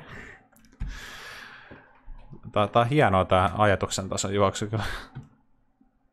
Predikityön jälkeen kukaan ei ollut huolissaan siitä, lisääkö tapaus kansallismielisiä kohtaan tunnettuja pelkoja epäluuloja. Tiedättekö te sen fiiliksen, kun Breivik tekee se terroristihyökkäyksen ja sitten joku natsi menee kahvilaan ja sillä ei välttämättä tarjolla kahvia. Eikö anteeksi kansallismielinen. Joku silloin kun Breivikin isku tapahtui ja tapahtui surullinen tapaus, missä toi Pekka Leijonalippiksen kanssa meni kahvilaan ja sitten kahvilassa oli se, että oot sä näitä Breivikkejä ja sitten se tota, joutui itkeä kuin loppupäivä sen jälkeen. no, se mutta myös tämä rasismi, mitä hän tunnetusti jatkuvasti kaikki valkoiset suomalaiset joutuu kokemaan. Kukaan ei ajatellut tätä. Pray for not siis kyllä. Kun islamistit tappavat ihmisiä, tutkijoiden suurin huoli on joka ainoa kerta se... Li... Vittu nämä lauseet on rasittavia siis hetki. Tai niin kuin, kun pilkku, tutkijoiden pilkku, tai niin on pilkku, joka ainoa kerta pilkku, se, pelkästään se ja sitten pilkku, lisääkö tapauskielteisiä asenteita isona? Mä oletin, että tuosta tuli vielä joku pilkku, vittu. äh, äh, no niin, joo, okei. Okay. Mä huomaan, että mä suutun eniten näistä koista. Edelleenkin. Äh, okei. Okay. Kiinnostamista tappavat ihmisiä tutkijoiden suuri on joka aina kerta se, lisääkö tapauksia kielteisiä asenteita ihmeen kohtaan. Äh, mikä sitten se mahdollinen huoli sillä, että hei, pitäisikö meidän tota, silleen, että ää, nyt tapahtui taas tämmöinen islamistien, mä en välitä, onko se pilkutuspirä. Vaikka se olisi aidosti oikein laitettu pilkku, niin meidän tai silti on ärsyttävää lukea noin pitkiä lauseita tuolla, jotka on tosi omituisesti väännetty kasaan. Mä hänen muuten puuttuisi tähän kirjoittamiseen, mutta niin kuin, mä olettaisin, että halla tyylinen ihminen osaa kirjoittaa hänen tutkinnollaan. Mutta tota, tota, tota, tota, en piti sanoa. Niin, että et, pitäisikö meidän miettiä sit sitä, että no siis kun, itse asiassa kun tämäkin just taas, on taas sen, että kun ää, tässä on taas julistettu jotain, mikä ei pidä paikkaansa. Et, kyllähän siitä on puhuttu siitä radika- deradikalisaatiosta. Et siis näitähän on erilaisia projekteja, missä on pyritty keskittymään siihen, että tota, miten saadaan deradikalisoitua nuorisoa, jotka mahdollisesti vaikka on ollut kiinnostuneita Iseksestä tai muuta, tai mitä on saatu deradikalisoitua, esimerkiksi natsejakin. Ja näistähän on omanlaisia exit-projekteja olemassa, mutta sitten se, että deradikalisoinnin lisäksi tai sosioekonomisten asemien parantamisen lisäksi, niin mitä sä voit tehdä? Niin no, halla mielestä varmaan laittaa rajat kiinni ja heittää uun, no, rajat kiinni. Mutta tota, niin. Tässä nyt halla se ongelma, että kaikki ei välttämättä ole niin yhtä tota, ju... Mennään koko ajan sanaa vääriä sanoja. Yhtä tota... No, tota, yhtä, yhtä tota, um, oikeistolaisia kuin siinä, niin niiden ratkaisut on ehkä vähän ihmisläheisempiä ja myös oikeita ratkaisuja sen tilanteen purkamiseksi. Et harvemmin se oikea ratkaisu näiden tilanteiden purkaisemiseksi on laittaa yhtä paljon väkivaltaista painetta siihen toiseen suuntaan, joka on se synnyttänytkin. Tai on ollut synnyttämässä sitä. Noin näin. Epäilemättä lisää, mutta mielestäni se, että islam sellaisena kuin se on tarjoaa niin monelle ihmiselle inspiraatiota verilöylyihin on paljon suurempi ongelma kuin se, mitä muut ihmiset islamista ajattelevat. Tässä on nyt halla 2015, että islam sellaisena kuin se on, tarjoaa niin monelle ihmiselle inspiraatiota verilöily, niin monelle ihmiselle myös niin kuin sillä, että mietit, en edes jaksa laskea, mikä prosentuaalinen osuus nämä terroristit on niin kuin koko väestöstä, jotka uskoo islamiin. tota, me, me, var, me päädytään todennäköisesti aika moneen nollaan ja sitten siellä jossain perässä on ykkönen prosenttina, mutta tota, joo. Tämä on ehkä sellainen ongelma käsitellä islamia vaan islamina, ihan samalla tavalla käsitellä kristinuskoa vaan kristinuskona. Että puhua kaiken maailman kristinuskosta niin kuin ympäri maailmaa, jos on suomalaista kristinuskoa, on eteläafrikkalaista kristinuskoa, niin yhdistää vaan nämä kaikki yhdeksi klöntiksi ja puhuu vain yhdestä kristinuskosta koko maapallolla ja sanoo, että se on jonkunlaista. Niin se mun mielestä ole ihan kauhean fiksu tapa ehkä lähestyä tämmöisiä asioita. Ja se ei myöskään ihan kauhean fiksu tapa islamin suhteen. Mutta mä ymmärrän, että niinku jollekin oikeistolaisille ajattelu on vähän liian hankalaa ja halutaan tosi yksinkertaisia ratkaisuja. Mutta vaikka ei halukkaan, en mä, mä, siis mä en tiedä islamissa melkein mitään. Siis mä en ole lukenut Korania, mä en tiedä mitä Koranissa lukee, mutta mä tiedän yleisellä tasolla sen, että miten uskontoja voidaan turkita eri tavalla. Mä tiedän, että kaikki islamin uskosta ei jatkuvasti ampumassa kaikkia. Se, se on ihan, sillä ihan hyvin pääteltävissä oleva asia. Mä en tarvitse lukea Korania, tai tutustua hirveästi tilastoihin, että mä pystyn varmistamaan, että tosiaan näin ei ole. Et, tota, joo. Et va, tosiaan vaikka ei jaksa tutustua Koraniin, tai sitten jos jossain vaiheessa jaksaa tutustua Koraniin, mä voin sanoa, että se, se että tota, se sun MV-lehteä artikkeleja linkkaava Pekka, niin linkkaa sulle, että hei, tiedätkö, että Koranissa lukee niin, että sä voit oikeasti raiskaa lapsia, niin se ei välttämättä ole se tapa, miten sä pystyt syventämään sun ymmärrystä siitä Koranista, tällä ihan vaan vinkkinä. Että jos haluat oikeasti perehtyä Koranin tapaiseen kirjaan, niin se voi olla aika hankalaa silleen, kun jos se siinä, siihen on ikään kuin kasvanut, että sä et ole saanut sellaista uskonnollista kasvatusta siihen. Kuten jos me esimerkiksi mietitään, niin kyllähän esimerkiksi kristinusko, niin mehän ollaan saatu satoja tunteja ikään kuin opetusta siitä, tietenkin jollakin vähän erilaista taustaa, mutta siis meillä on ala-asteella uskonnon opetusta, meillä on sitten sen lisäksi myös kirkossa vapaa-ajalla muuta tällaista, meillä on yläasteella uskonnon opetusta, meillä on se ripari, niin se on oikeastaan jotain yli sata tuntia, missä meillä on opetettu raamattua ja raamatun tarinoita ja muuta, ettei se meillekään ole tullut millään ihan pienellä. Niin sitten aikuisilla alkaa yhtäkkiä niin opiskella jotain Korania, niin ei sitä niin kuin samalla tavalla voi sisäistää erityisen nopeasti. Plus sitten sekin, että sen lisäksi, että meillä on ollut se uskonnonopetus kouluissa ja muuta, niin kyllähän meillä näkyy kulttuurissa, meillä on joulut ja kaikki tällaiset asiat, jotka näkyy, jonka, joka lisää meidän ymmärrystä hyvin paljon enemmän siitä vielä siitä raamatusta. Niin sitten, että jos johonkin Koraniin tutustuu, niin ei ole myöskään tämmöisiä kiinto, kiinnost, kiintopisteitä. Toki se, mikä Koranissa on, niin on siis se, että siellähän kyllä puhutaan samoista asioista, missä raamatussa puhutaan. Sen verran mä tiedän, mutta mä en ole lukenut niitä kohtia, mä tiedän, että siellä puhutaan raamatussa olevista asioista ja just puhutaan Jeesuksesta ja viitataan Jeesukseen ja profeettana. Niin, da.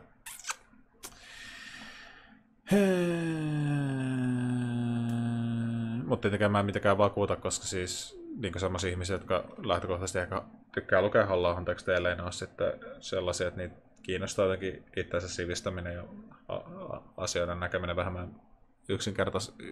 Mä en tiedä, pystyykö mä näkemään yksinkertaista tuo termi, tuota sanaa käyttää tästä mutta koska niillä on kuitenkin aika vahva, vahva, vahvana se, että on tämmöisiä ikäviä intellektuaaleja, jotka ei näe sydämen asiaa ja silleen, että nämä asiat on nyt vaan näin tyylisesti.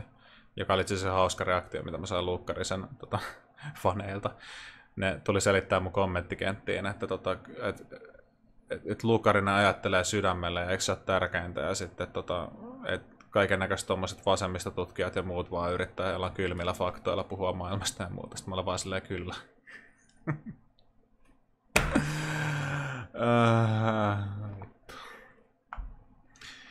Muslimeja on monenlaisia, josta ei kukaan kiistä. Kuitenkin se islamin tulkinta, jota voidaan luonnehtia fasistiseksi kuolemankultiksi, joka omien sanojensa mukaan tähtää maailmanvalloituksen ja länsimaisen sekulaarin vapaan yhteiskunnan tuhoon, ja jonka keinot ovat sen mukaiset, nauttii huomattavan suurta suoriota niin muslimi-enemmistöisissä maissa kuin Euroopassakin.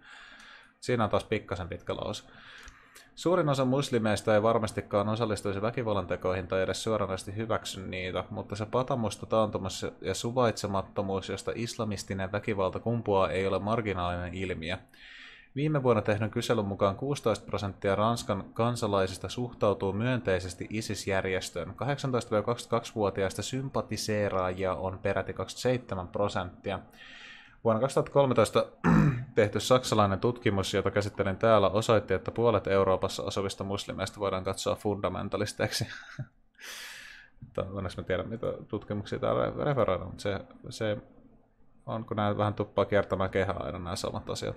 Toki tämä on 2015, niin, mutta mm. ne yleensä pyörii 5 vuotta tai 10 vuotta joku sama tutkimus aina niin kuin samoissa piireissä jatkuvasti. niin on vaikea yleensä löytää uusia. One in six, mikä tämä sivusto on? Newsweek. One in six French citizens sympathizes uh, with Islamist militant group ISIS, also known as Islamic State, a poll released this week found. The poll of European attitudes towards the group carried out by ICM for Russian news agency Russia Segonya en tiedä mitä revealed that uh, 16% of French citizens have a positive opinion of ISIS. This percentage increases among younger respondents, spiking at 27% for those aged 18 to 24. Uh, Mä kiinnostaisi nähdä, että löydäks meistä ton pollin itässään. Da, da, da, da, da, da, da.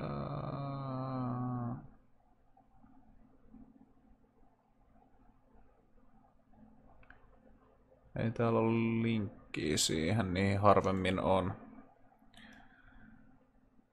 Pitää mennä sitten vaan tämän uutisartikkelin perusteella. Niistä on vaan yleensä ihan kiva katsoa, että et mitä niitä kysymyksiä on kysytty ja tota, no niistä mä en pysty harvemmin sanomaan, että siihen osaa paremmin jotkut tilastotieteilijät sanoa, että miten se sitten on No ne, nyt harvemmin on, jos ne on vertaisarvioitu, ne yleensä on sillä ihan legitisti kyllä osattu siis tota, hoitaa, hoitaa se, tota, että se on niin kunnolla, kunnolla tehty itsessään, siis se tilastollinen osuus siitä, että on valittu, osattu valita siis oikein, koska yllättäen siis kaikilta ei ole kysytty, niin osattu valita oikein ne segmentit.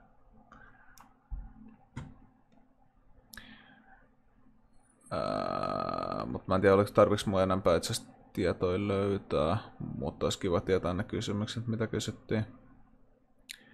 Mutta joo, me voidaan hyväksyä siis nämä luvut ihan vaan suoraan, että tota, 16 prosenttia, niin niillä on positiivinen suhtautuminen. Siis se, sekin, mikä myös yleensä mua kiinnostaa myös se, että, kun, että kysytäänkö siinä vaan, että negatiivinen, positiivinen, vai onko siinä vielä asteeroja siinä. Mut ehkä ei, en tiedä. Niin en mä, ei kuulosta mun mielestä sillä hälyttävän suurelta.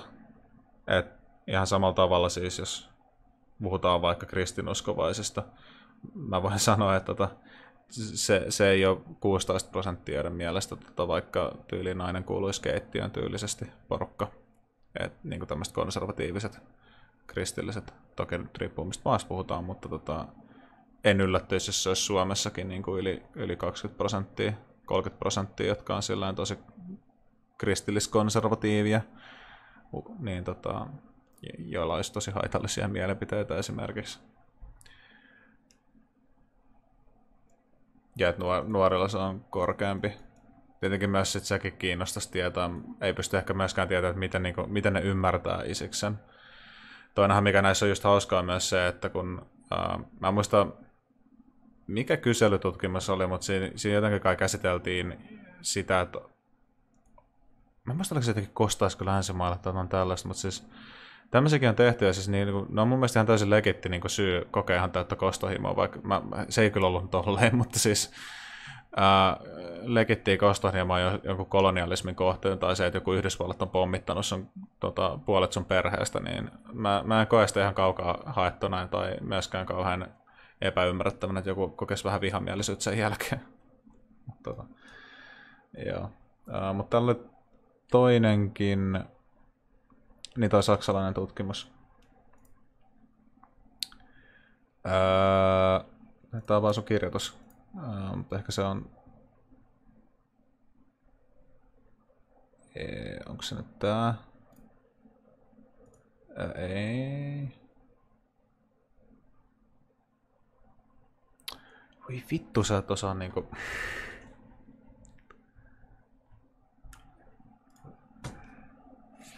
Älkää, älkää ihmiset koskaan teekö näin. Vittu, tää ei osaa kirjoittaa blogikirjoituksia. Jos sä laitat niinku, et, ää, tutkimus, niin laita mieluummin vaan sit se linkki sen tutkimukseen, eikä, eikä sitä uutta kirjoitta, kirjoitusta, jos sä oot sillä niin kuin, joo, kiitos, etin sä täältä sillä heti. Se oli saksalainen tutkimus. Äh, mitä mainintaa Saksasta? Saksa, no saksalainen ei ollut, mutta Saksa löytyy.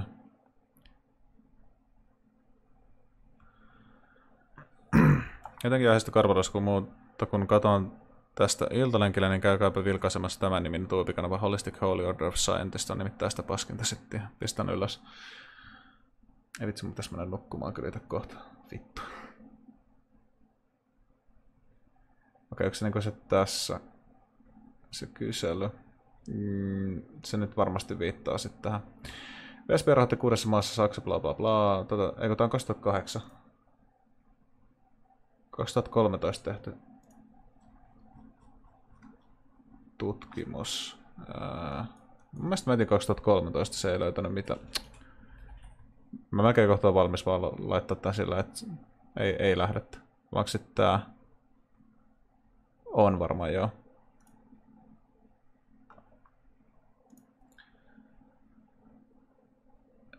Lähes 60 prosenttia katsoo, että muslimien tulisi palata islamin juurelle, 75 prosenttia katsoo, että Koranilla on vain yksi tulkinta, jossa kaikkien tulisi pitäytyä, 65 prosenttia katsoo, että uskonnolliset määräykset ovat tärkeämpiä kuin asuinmaan lait, 44 prosenttia vastaajista yhtyy kaikkiin kolmeen väitteeseen. Vaikka fundamentalismin usein ajatellaan nousemassa yhteiskunnan... Okei, okay, mutta mikä tämä tutki...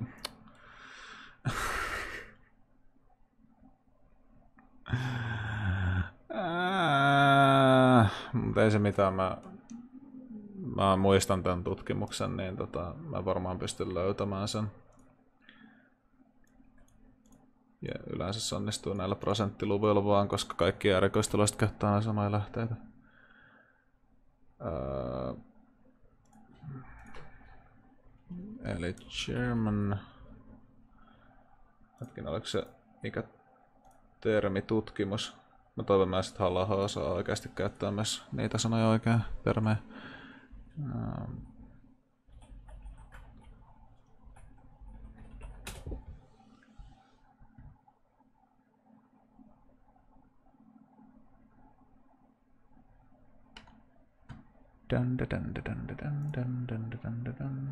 Täällä oli ainakin linkitetty siihen. Taas hetken. Tässä oli.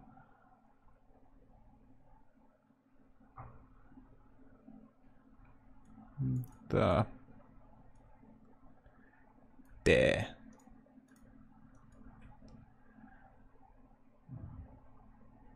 Joo, se on tää. no. Mikä se numero oli? 50. Mä pystyn tekemään tietenkin näin.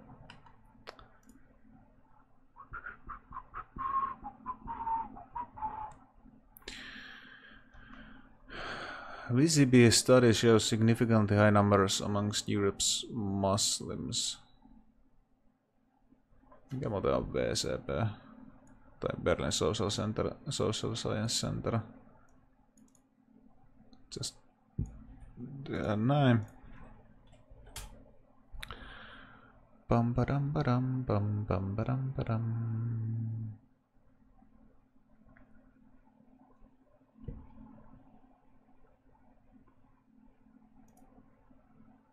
Tai niin, mä olisin voinut tietenkin vaan täältä katsoa, niin kuin miten nämä puhuu itsestään. No, ihan sama mennään siihen tutkimukseen kuitenkin. Religious fundamentalism is not a marginal phenomenon in Western Europe. Ei lueta nyt kaikkea. Tästä yllättäen, en, en, en.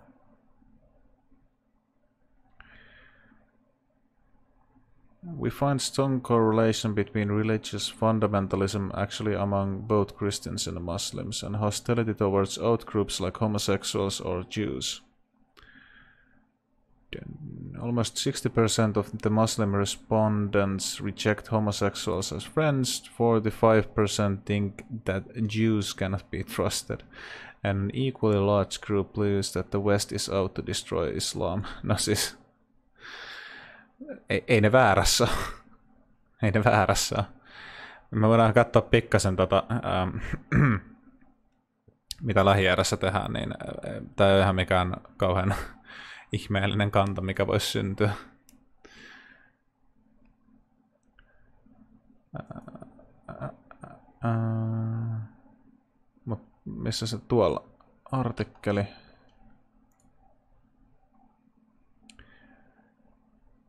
Jos se latautuu, lataudu, lataudu, lataudu. Toki mä voisin etsiä se artikkeli ehkä muillakin keinoin, mutta tota, mennään nyt suoralle. Toki silläin Tämä on varmasti todella mielenkiintoista katsottavaa sisältöä, sen takia mä en aina välttämättä näitä tee, mutta tota, tiedoksena yleisesti chatille, että näitä asioita ei voi ihan näinkään nopeasti aina katsoa, että sä vaan googlettat, koska sun pitää yleensä lukea se artikkeli läpi, ei nyt välttämättä kokonaan, mutta sen lisäksi sun pitää ottaa jonkunnäköinen konteksti sille kaikille tutkimukselle ja sille artikkelille, mikä on olemassa – katsoa, mitä siitä on kirjoiteltu, katsoa, että onko sitten otettu jotain legittejä kritiikkejä. Jos se on niin tosi vanha, niin sitten myös sekin, että onko se mahdollisesti vanhentunut, mutta näissä tilanteissa harvemmin sillä, että yhtäkkiä ne kaikki vastaukset olisi niin tosi erilaisia niin, kuin niin vaan muutaman vuoden aikana.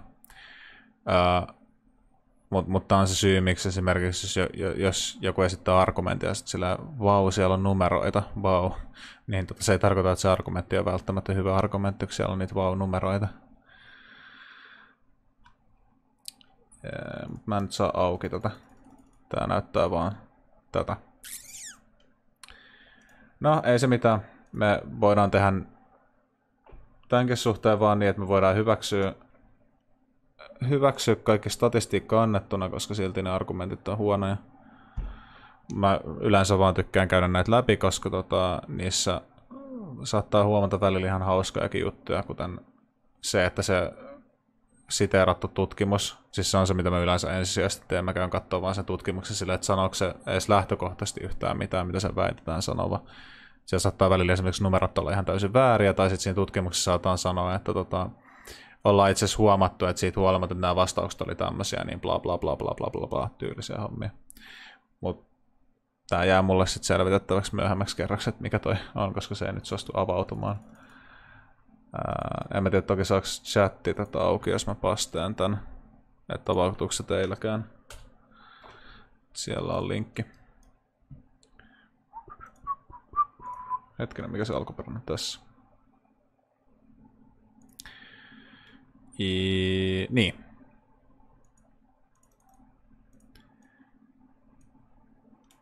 Mitä kaikkea tänään lukenut sivistä mua? Äh, Halla-ahon tota, teksti. Miksiköhän se aukeaa teillä sitten ja mulla ei? Onko tämä joku sellainen ongelma? No, mä... Katsotaan. Aha. No sit se näköjään johtuu siitä, kun on tota toi... Mä oon inkognito-tilassa, niin se näköjään aukeaa inkognito-tilassa.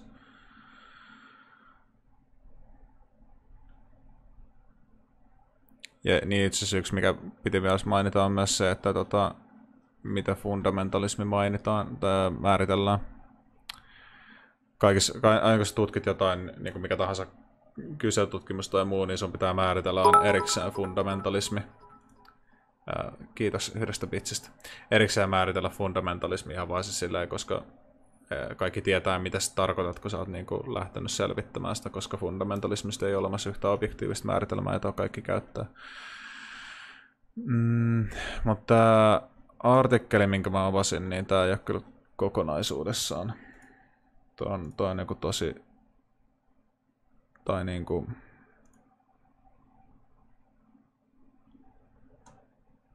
Ää, siinä ei ole... Hetkinen.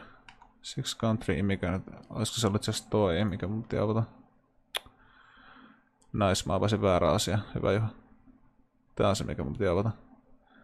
Tää on niinku siitä kysely. Tää on itse se kysely.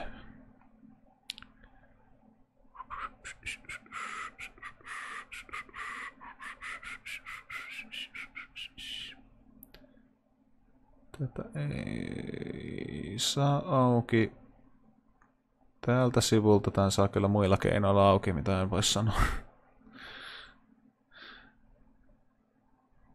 Esimerkiksi tämän voi tehdä Minecraftissa tämän dokumentin.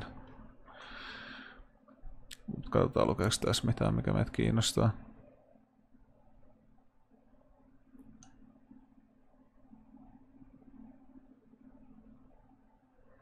Data by collecting a bilingual phone survey 2008.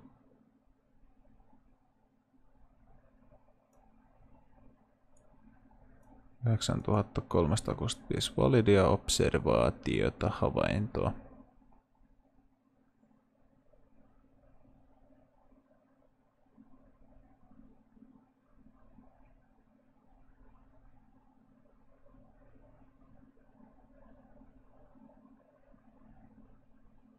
Joo, me ei, ei nyt ihan tuosta saatu kauheasti, kauheasti tietoa lisää.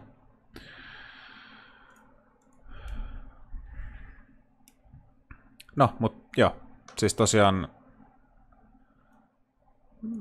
puolet Euroopassa asuvista muslimeista voi olla fundamentalisteja, mutta fundamentalisti muslimi ei tarkoita sitä, että sä menet, tota, heität pommeja ihmisten päälle. Tämä voi olla shokkina ihmisille, mutta tämä sama pätee myös kristinuskoisiin. Mutta meille nyt jää mysteeriksi että miten fundamentalismi on määritelty, menemättä tuohon itse tota, tutkimukseen käsiksi. Miten me ei voi tiedetä, mikä siinä on kyse, ja homman nimi. Koska siis, kuten voitte päätellä, niin fundamentalismi on aika sillä laajasti, tarkoittaa eri asioita et, et on hyvin siis erilaisia fundamentalisteja olemassa. Mä tietenkin nyt vaan selitän tätä kaikkea pois antamalla ihan hirveän paljon tarpeet, tarpeetonta monimutkaisuutta tähän yksinkertaisuuteen. Et, et paljon, paljon parempi vaan puhua, että ne on vaan rättipäät, jotka haluaa räjäyttää kaikki. Tämä on, tämä on selkeästi se älykkään yksinkertainen ratkaisu tässä tilanteessa. Paha maailmalle kaukana meistäkään, mistä osoituksena voidaan nähdä se, että Jodarin kaltaisia hamoja kutsutaan Suomen julistamaan oppejaan. Väkiluku suhtautunut Suomesta on lähtenyt Irakin ja Syyrian enemmän jihadisteja kuin useimmista muista Länsi-Euroopan maista. Mä en... Mikä tää? Ai niin, se oli toi. Mä yritän mikä vitun Chowderi. Mä olin unohtanut, unohtanut kokonaan ton nimen, mitä tuolla aikaisemmin käsiteltiin. Islamismi on laaja suosittu tai vähintään passiivista hyväksyntää nauttiva sisäisesti koherentti ja hyvin verkostoitunut ideologia. En mä kyllä tiedä, onko se sisäisesti koherentti. Okay. Koska toimijoiden pointimena on usko ja tuon puolesta herkut heidän kanssaan, ei oikein voi keskustella ja hakea kompromisseja. Itse asiassa toinenkin, mikä tuli mieleen just siis siitä, että kun mä taisin tota, ei, ei ollut mikään virhe multa, mutta jos se muutamia kymmeniä minuutteja sitten toteaa, että ää, ei, mä en muista mitä me ilmaisen siinä Ebdo-jutussa, että ei välttämättä usko, uskoisi islamiin, koska siis tota, Isiksenkin sisällä on tyyppejä, jotka ei siis ole erityisen uskovaisia. Tämä voi olla silleen, mitä, mitä voi olla mahdollista? No siis, niin ihmeellistä kuin se onkin, niin joku, joku voi kuulua terroristijärjestöön, ja se ei välttämättä ole kauhean koherenttia se mutta myös sekin, että se ei välttämättä se uskonto ole se isoin driveri siinä hommassa. Et, et siellä voi olla jotain muita tekijöitä, kuten esimerkiksi syvä viho ää, Yhdysvaltoja kohtaan tai länsimaita kohtaan tai mitä tahansa muuta. Ja siis mun mielestä ymmärrettävistä syistä, vaikka mun mielestä tietenkään ei voi purkautua ehkä niin, että sä käyt pommittamassa siviilejä tai muuten, vaan heikennät sen sun o- maa, mistä sä tuut, niin elinoloja toimimalla, miten niissä on toiminut. Mutta tota,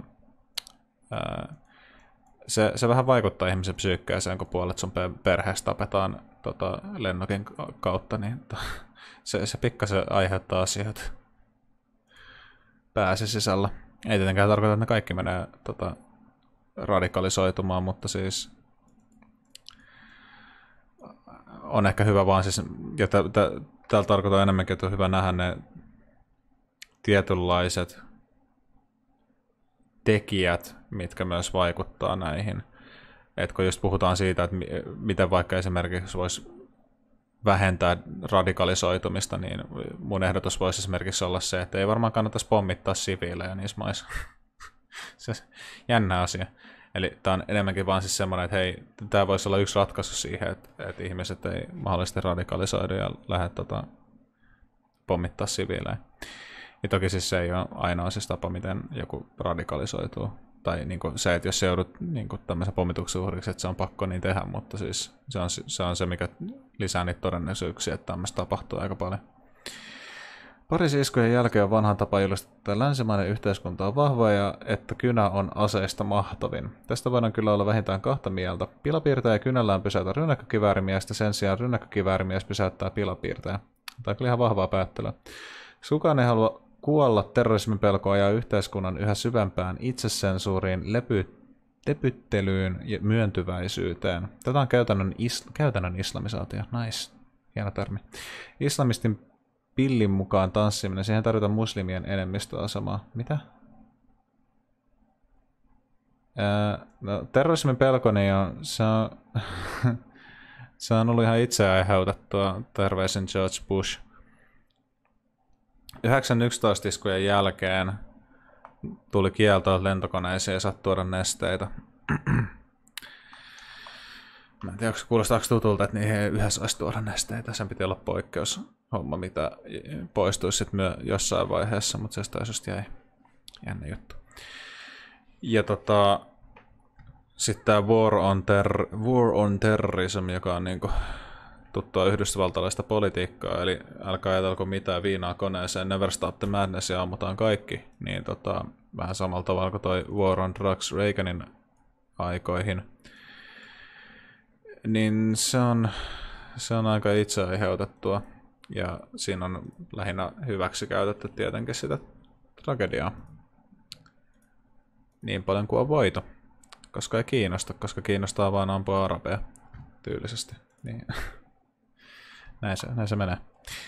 Jos muihin toimiin alkaa valmiutta, aina voidaan marssia islamofobiaa vastaan ja paheksua perussuomalaisten twiittauksia. Niin mä en kyllä tiedä, miksi tota halla mielestä olisi huono marssia islamofobiaa vastaan, mutta ehkä halla mielestä on ihan ok, tai on nimenomaan hyvä asia vihata arabeja, niin sen takia jos joku mielestä ei ole, niin sitten se kokee, että se on huono, huono homma ja paheksua perussuomalaisten twiittauksia. No siinä voi toki sitten miettiä, että kuinka paljon, nyt kannattaa, tai kuinka paljon kannattaa energiaansa käyttää niiden paheksumiseen. ja mä lopettelen striimiin. Tämä meni aivan liian pitkäksi tämä striimi, mutta lopettaa paljon aikaisemmin. Pitää mennä heti nukkumaan nyt. Niin tota, mm, tällaista. Me varmaan käydään lisää näitä blogikirjoituksia myöhemmin. Mä en tiedä palaaks mä Arto Luukkasen, koska se on aivan saatana tylsä ihminen, eikä sit saa mitään sisältöä aikaiseksi. Toki täytyy sanoa, että se on hyvä, hyvä suojamuuri. Kuka eikö kritisoida sua, jos sä oot ihan vitu tylsä. Niin joo, pisteet siitä. Ehkä, ehkä pitäisi perustaa semmonen joku kakkosvasemmistolaiskanava, missä on niin kuin vaan, on vaan silleen, tervetuloa, täällä on tänään tällaista meininkiä ja menoa. Vieraana meillä on Paavo Arhimäki. No, mitäs Paavo on mennyt ja mitäs susta on tullut Paavo? No ei tässä No Paavo nyt pystyisi sitten olla paljon mielenkiintoista, mutta kuitenkin. Sitten ilmeisesti liian pitkä, että saa anteeksi. 3 tuntia 30 minuuttia. En tiedä mitenkään mä nyt sitten YouTubea laitan sillä, että mulla on joku puoli tuntia vaan ihmettelen se, Aa, mitä tämä artikkeli aukeaa, mitä täällä artikkeli lukee. Ää. Mm, pitää ehkä miettiä, että käykö noin, jättääkö noin vaan käymättä noin tutkimukset, koska niitä on vähän hankala striimissä käydä läpi, koska mun pitää periaatteessa olla vain joku puoli tuntia hiljaa ja lukea niitä eri kohtia ja käydä niitä läpi ja muuta. Plus sitten se voisi mahdollisesti johtaa siihen, että pitää googlitella lisää ja kaikkea tällaista niin tota, mm, ehkä ne vois, no katsotaan tapauskohtaisesti, mutta itse asiassa tässäkin tapauksessa ne olisi voinut vaan ottaa annettuina sillä, että ihan sama hyväksytään, hyväksytään että kaikki pitää paikkaansa ja otetaan nämä numerot vaan tällainen suoraan. Mutta mut siinäkin on just vaan se, että nekin olisi kyllä hyvä käydä läpi, että ei, ei, näissä tapauksissa harvemmin kyse on siitä, että numerot on väärin. Ja useimmiten kyseessä on siitä, että siis siitä jää jotain kontekstia, tärkeät kontekstia pois niin, joka, joka olisi hyvä käydä läpi. Plus sit se, että kun on tosi monesti semmoisia, mitä niin ne niin linkkaillaan kymmeniä vuosia koko ajan putkeen. Et, tota, ne on varmasti noin samat numerot tullut mahdollisesti muissakin keskusteluissa just sen takia, että kun oikeistolaisilla on tapa ottaa joku pari-kolme artikkeli josta ja käyttää niitä ikuisuuteen niin sitä samaa sillä, että me saatiin jotain numeroita ja eikä sitten ollenkaan katsoa mitään muuta dataa tai näin edespäin. Niin, niin mitä miettii, mitä sen suhteen tekee, koska mä voin kuvitella, että se on tylsää sisältöä. Ja niin tänne streamin puolelle kuin YouTuben puolelle. ja kun olisi kuitenkin yleensä tehdään argumentteja, kun halla ei missään kirjoituksessa yleensä mene kauhean paljon mitenkään tieteellisiin näkökulmiin ollenkaan, niin sen, senkään kannalta, sisällön kannalta ei ole, ei ole oleellista alkaa mennä niihin. Eri asia, jos halla oikeasti vetoaisi silleen sisällöllisemmin yhteiskuntatieteellisiin tutkimuksiin, niin silloin siinä olisi pointtia käydä läpi niitä tutkimuksia. Mutta kun näin ei ole halla tapauksessa ollenkaan, vähän lähinnä mutuilee kaikesta, niin periaatteessa me voidaan mennä sillä samalla linjalla. Ja ei siis sen takia, että me mutuillaan sen takia, kun se mutuilee, vaan siis sen takia, koska se ei nimenomaan vedä hirveän paljon sieltä yhteiskuntatieteellisestä tutkimuksesta, jota pitäisi sitten käsitellä. Näin. Sellainen striimi. Mä en saksa mainostella. Moikka.